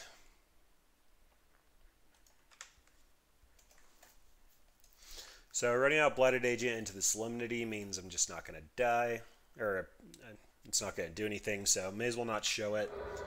Uh, they are probably planning on doing the Solemnity lock, which means that I'm going to have to win them out by milling or by bouncing the Phyrexian Unlife with Teferi. Okay, this is just starting to get aggravating. Should have done that pre-combat, would have required me having another Apostle's Blessing. And if you had activated Heliod off the Nykthos, I actually would have been dead on board, so... I mean, I should just give you this, but I have the feeling I'm going to draw into my combo and kill you out of nowhere. And that's a pretty decent start to it. Uh, I have seven mana, which means that if I Colossus Hammer and top deck a Aid, I'm going to feel like an idiot. But if I Colossus Hammer and top deck a land, it's lethal, so I think I need to do that. It also means I'm taking beats from all of the clerics this turn. And just trying to top deck a land. So land puts me on 12 of 44 versus 4 of 44. I think opponent figured out what I'm trying to do, though. Uh, okay, so if they leave back a single cleric, then they have me dead in three turns, which means I'm winning the race. If they attack in with all three, I should just have lethal. Oh, no, I punted because I'm going to have to pay two for the Ghostly Prison, which means I have to block here. Blocking here puts me on a three-turn clock, which means I top deck a creature and a land.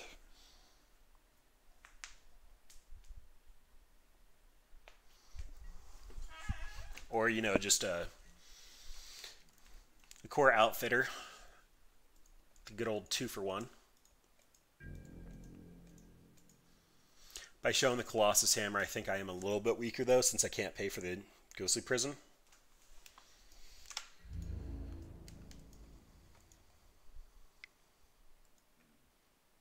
Alright, a little surprised opponent remember the Ghostly Prison. Because I clearly forgot about it.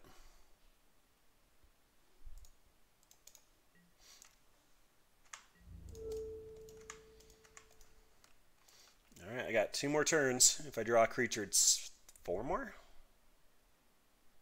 No, just three more.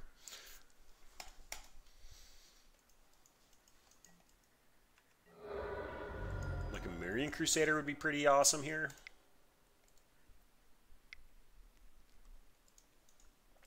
Geez, even a Teferi would be great. And they tap the Nykthos.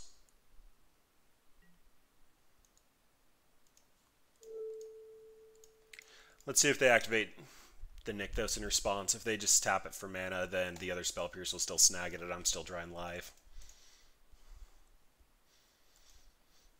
Right now, Nykthos is giving one, two, three, four, five mana.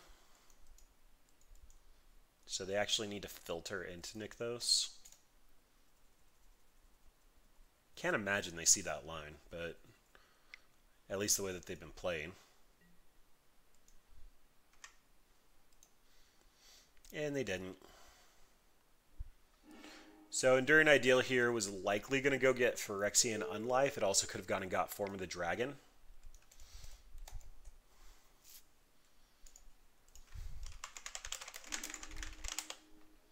I need a card in front of that.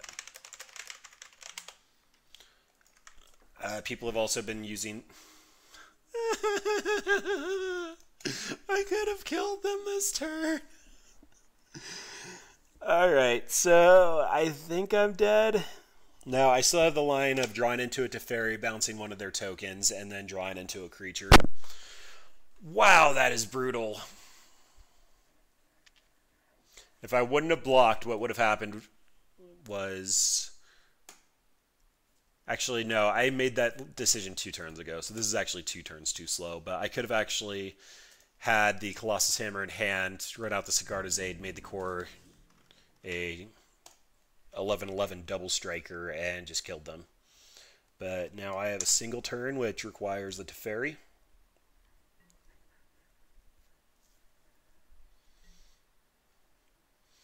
Yeah, my overlay's old too. Uh, I don't have the Walking Ballistas, or Walking Ballista would be great here.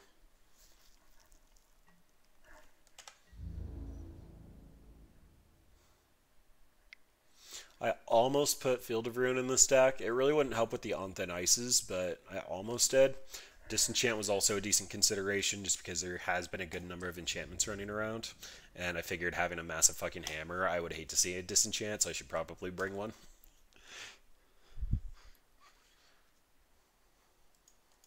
Oh, yeah, this deck doesn't want a Stony Silence. I don't know what I was thinking. Stony Silence would have made it so that I can't equip my equipments. I would have to do it through a Sigarda's Aid or a Kor Outfitter. Which only really matters for the Sword of Fire and Ice. I don't know. There's probably somebody that actually knows what they're doing that would have insight into that.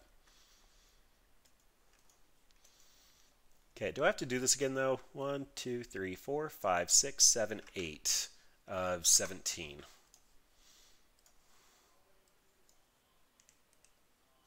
Uh, it's not nearly as bad as last time. We are still like within the it's not very probable to happen though.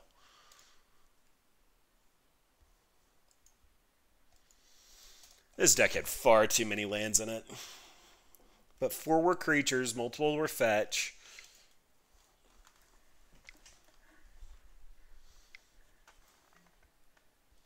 There's a sphere of safety. So Teferi into a creature does keep me alive, and then I need two turns with the Teferi before they get a Pithy Needle or a Sorcerer's Spyglass. So I can pick up the Sphere of Safety.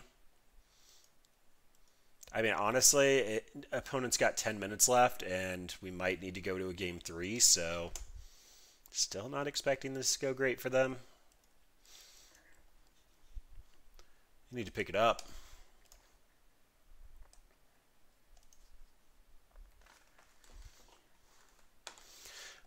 And we had the worst start ever. We should never be going to turn 12.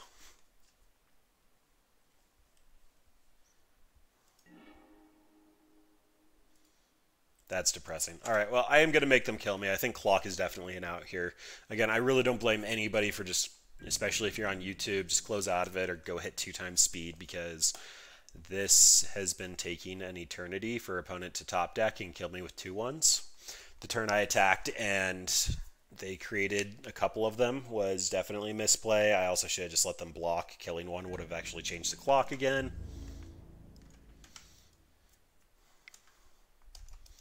But we had to mold a five and we had an awful hand and then we got flooded out. Like we have 20 creatures in the stack. Pretty sure. 16. Okay, we went down when we took the whatever things out. Thalia is great here. Auriok Champion doesn't matter. Blighted Agent's probably bad, but we do still need creatures to actually win the game. Uh, the Enduring Ideal is a sorcery, so Dispel's not very good.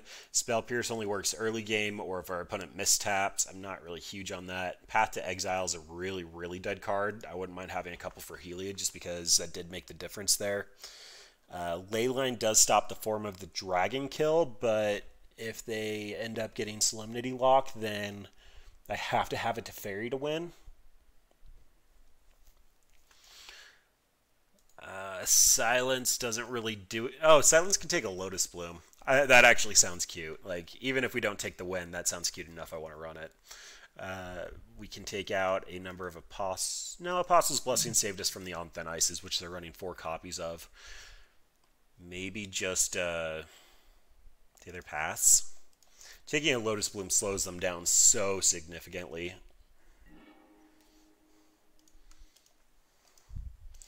This is a Sigarda's Aid, a Colossus Hammer, a Blighted Agent for lethal. It's basically all I want in life. I should kill them the turn before they even get Solemnity.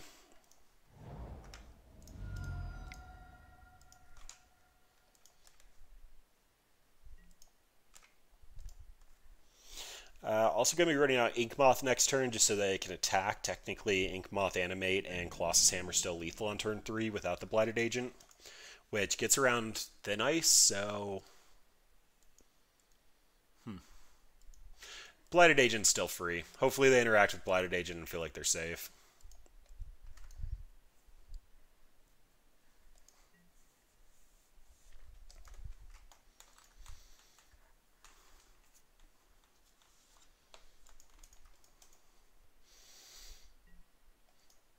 Why are those steps taking so long? You don't even have a land out.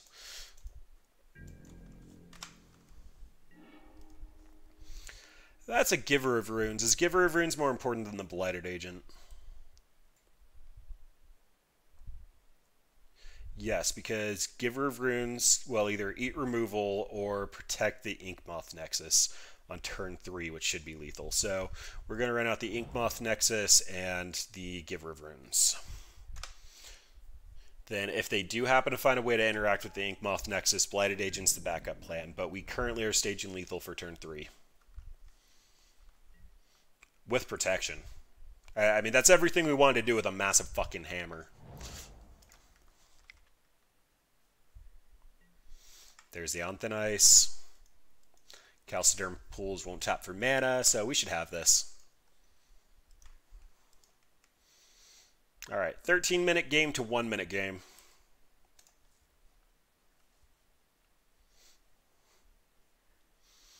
Uh, if I was actually going for the match win, I'd probably try to drag this out.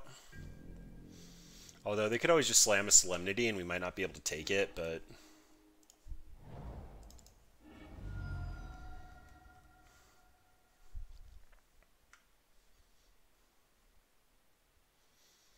I guess they could technically have Dismember here.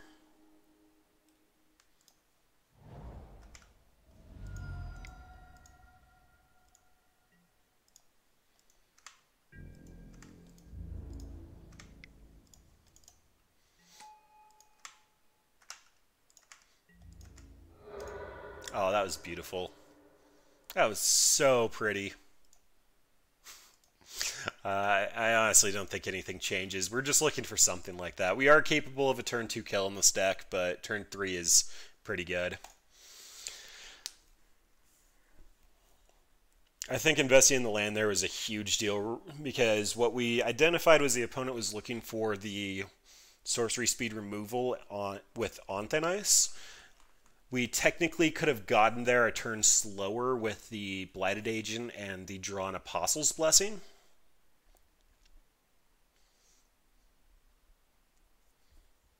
But getting the Inkmoth Nexus was just cake. Like, they would have had to have a path, and they didn't show us one.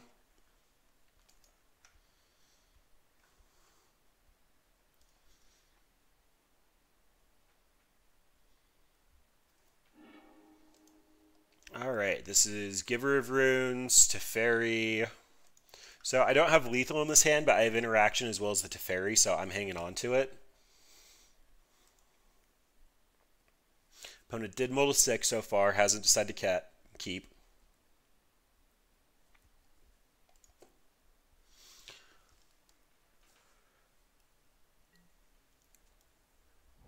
And they keep 6. That's an Inkmoth Nexus, which we've learned is pretty good for lethal. Giver of Runes probably eating an on thin ice here.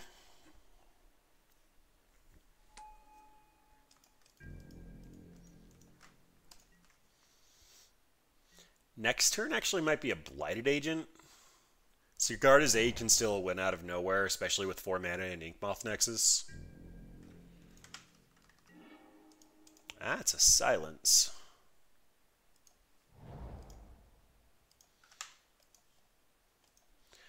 I don't think the silence matters, though. Uh, ooh, Blood Moon would actually really hurt here.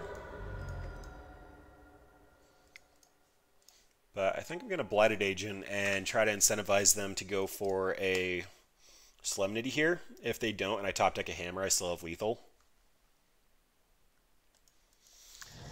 Uh, maybe actually should have left Giver of Runes back. The one damage doesn't mean anything long term, and now they can ice the Blighted Agent.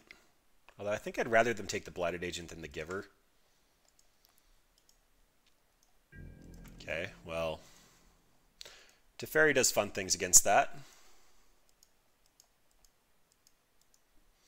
Is it worth just jamming Teferi? I'm going to draw an extra card if I minus, otherwise I'm going to start ticking up and get multiple bounces. That's a Mirran Crusader.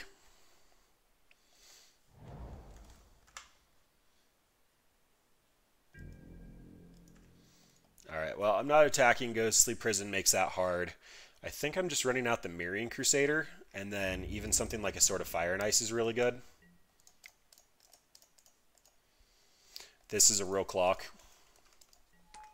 As well as lethal with the Sigarda's Aid. I have the land, so top decking hammer is still lethal.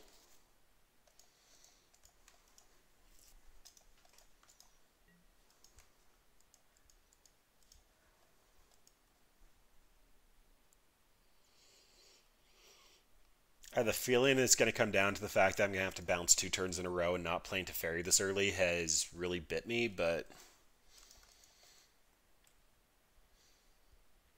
right now I'm just trying to get pressure out.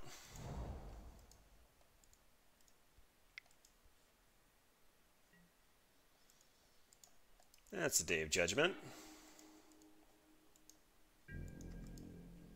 So now I definitely need to get Teferi out so that if I get my hammer, then my... Whoa, not that.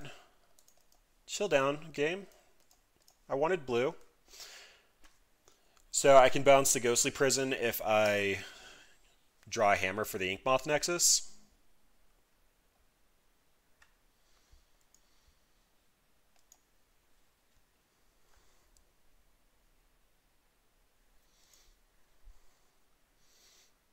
Opponent, you're definitely running out of time. I can't imagine what you have. You might have the red force here, but that's used for defense. Then my life total doesn't matter, so I'm just going to Sigarda's Aid. I, I want to get all my mana down that I need to actually be victorious here.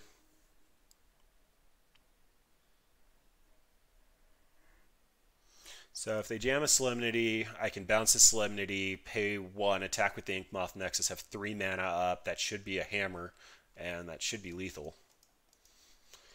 So I have everything I need. I'm just top decking to a hammer.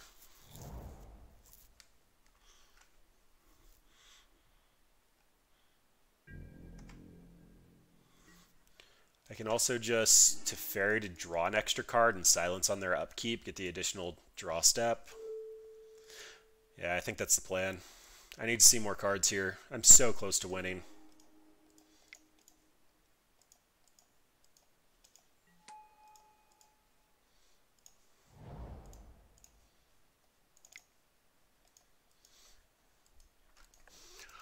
Uh, this one point of poison I've opted into strictly because I have nothing else to do with my mana. It's running up my opponent's clock slightly, and it's also making it so that if I find a Sword of Fire and Ice eventually, I can get a three-shot kill as opposed to a four-shot. Then I believe I want to silence this turn. Enduring Ideal costs seven. Uh, I have the mana for uh, blah blah blah attacking through the ghostly prison. So I think I kind of don't care. Uh, sphere of safety here is only going to be for one, so it's actively less good than ghostly prison. So I'll let them try to get seven mana before I consider silencing. I just needed to see the cards with the Teferi. That was really the big get out of this. Although if this is double ghostly prison, then well, I can still get through it. Just can't activate the Inkmoth. That's a Runed Halo. So hitting the point I wish I would have bounced Teferi. Runed Halo probably naming Kor Duelist. Yep,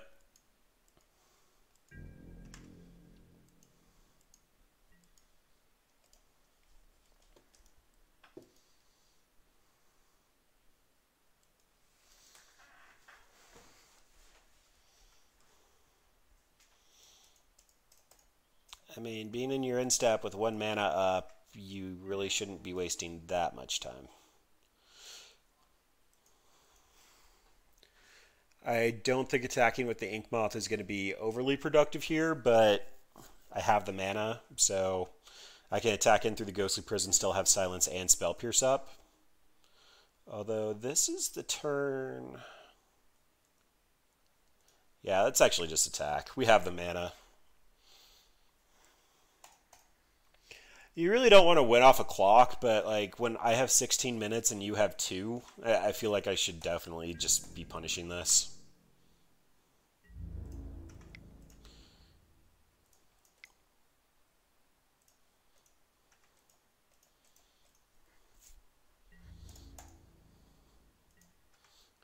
Take your poison, sir. Then I'm going to stop on opponent's upkeep and silence them. And then I'll have Spell Pierce for the following turn when they have Enduring Ideal.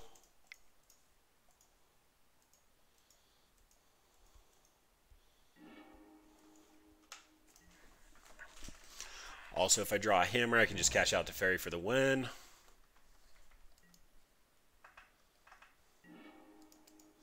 That's a Blighted Agent. Don't really think it matters.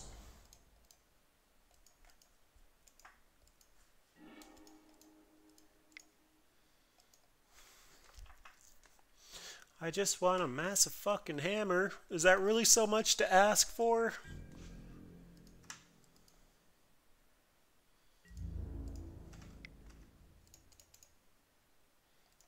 Uh, I'm actually going to try to play around Blood Moon if they have it. Like a Blood Moon into a Sphere of Safety.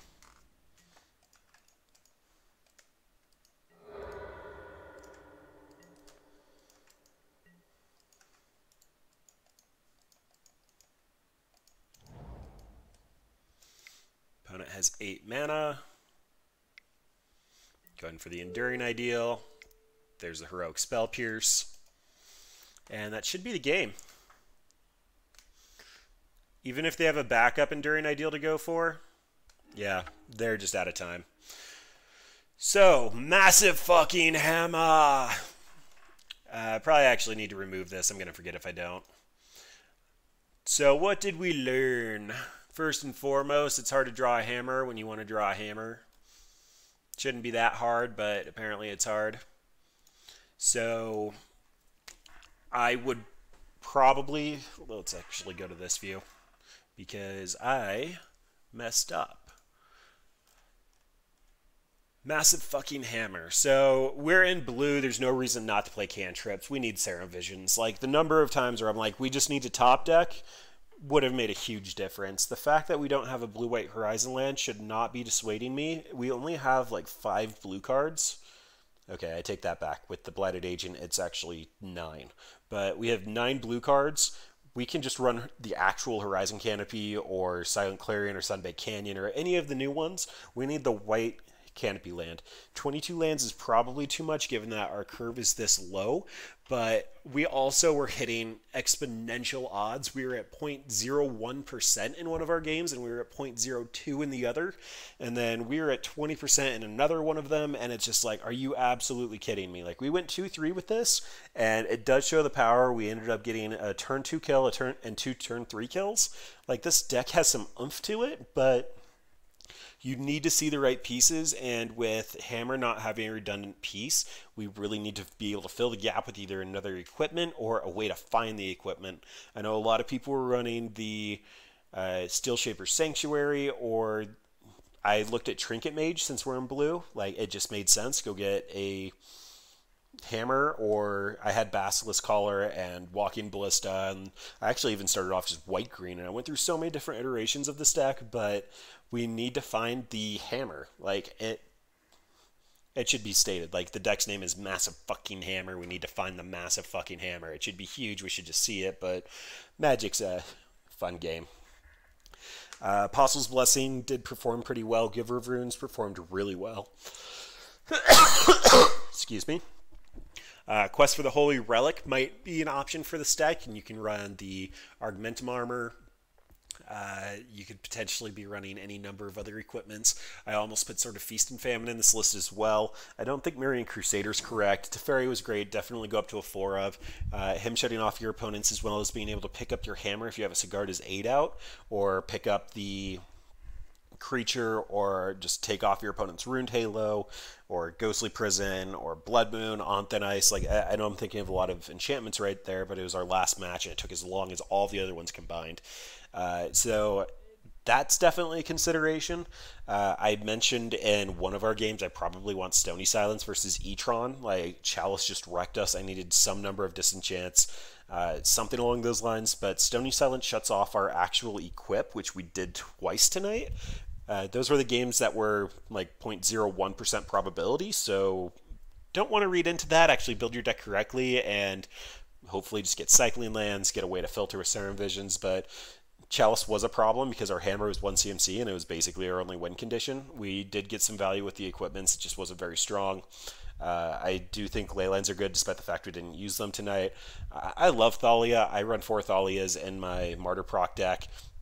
She's very powerful, but the fact that she increases the cost of your Apostles' Blessings, your Sigarda's Aid, your Hammer, and your Path, she probably doesn't need to be mainboard, but she did work versus Storm, and she would have done a really good versus Mono Red Phoenix just because of the way that their deck is built. I think two in the side is probably too little, but I also really value that card. I know a lot of other people don't. Um, Hogaak's gone. Probably don't need all three rips, but Arclight and Dredge are still very big contenders in the meta, so we probably need two to three. Uh, that's going to depend on your local meta.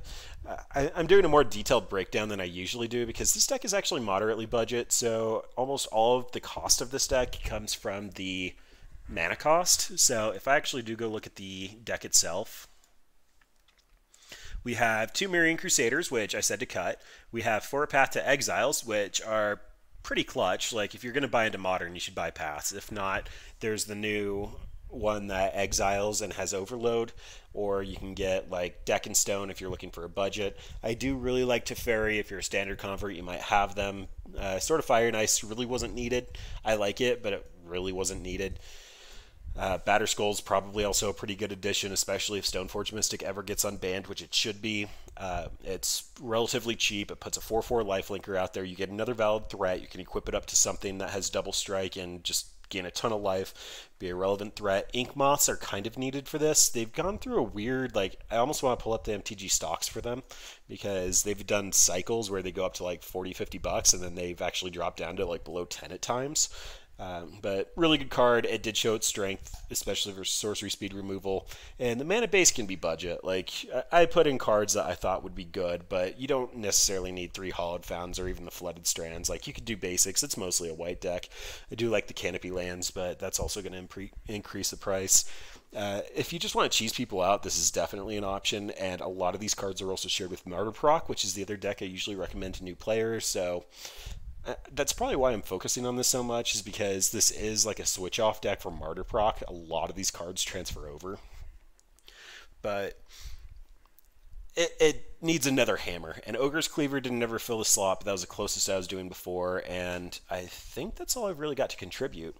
But uh, guys, I am thirteene. I do a lot of janky decks. Uh, if you actually even watch as I pulled this up, like there is just a bunch of random garbage in here. I say garbage, but a lot of them actually performed pretty well. Like I absolutely loved running Narset Cannon. Aria Punisher I've actually been working on a rerun for, but like Black White Tokens did well, Snow Black Devotion did well. Uh, we do a lot of really fun decks here though, and Brad One does a number of competitive ones. Uh, G Burn does standard arena stuff and just really fun janky decks. We really try to have fun. Uh, if you have a deck that you'd like me to take a look at, I'm, I'll always respond to a deck, but if it's something for on stream, I'll definitely give you a shout out. Send it to decks at squirreldealer.com. Uh, if you are looking for decks, feel free to check out our website, just squirreldealer.com, or search for it on YouTube, and we've got a whole history of everything that we've been running here. Uh, if you like our content, we end up hosting all of our streamers through the Squirrel Dealer staff account on Twitch, and we're happy to respond to questions on Twitter, or if you want to hit me directly, feel free to message me on Reddit or just respond on YouTube. We'll we'll adjust whatever you're feeling, but feel free to like, subscribe, all that fun stuff, and uh, go hit some people with a massive fucking hammer. And in the future, we won't be swearing as much. Just really felt like we needed it for this deck, and thanks for watching. Have a good one.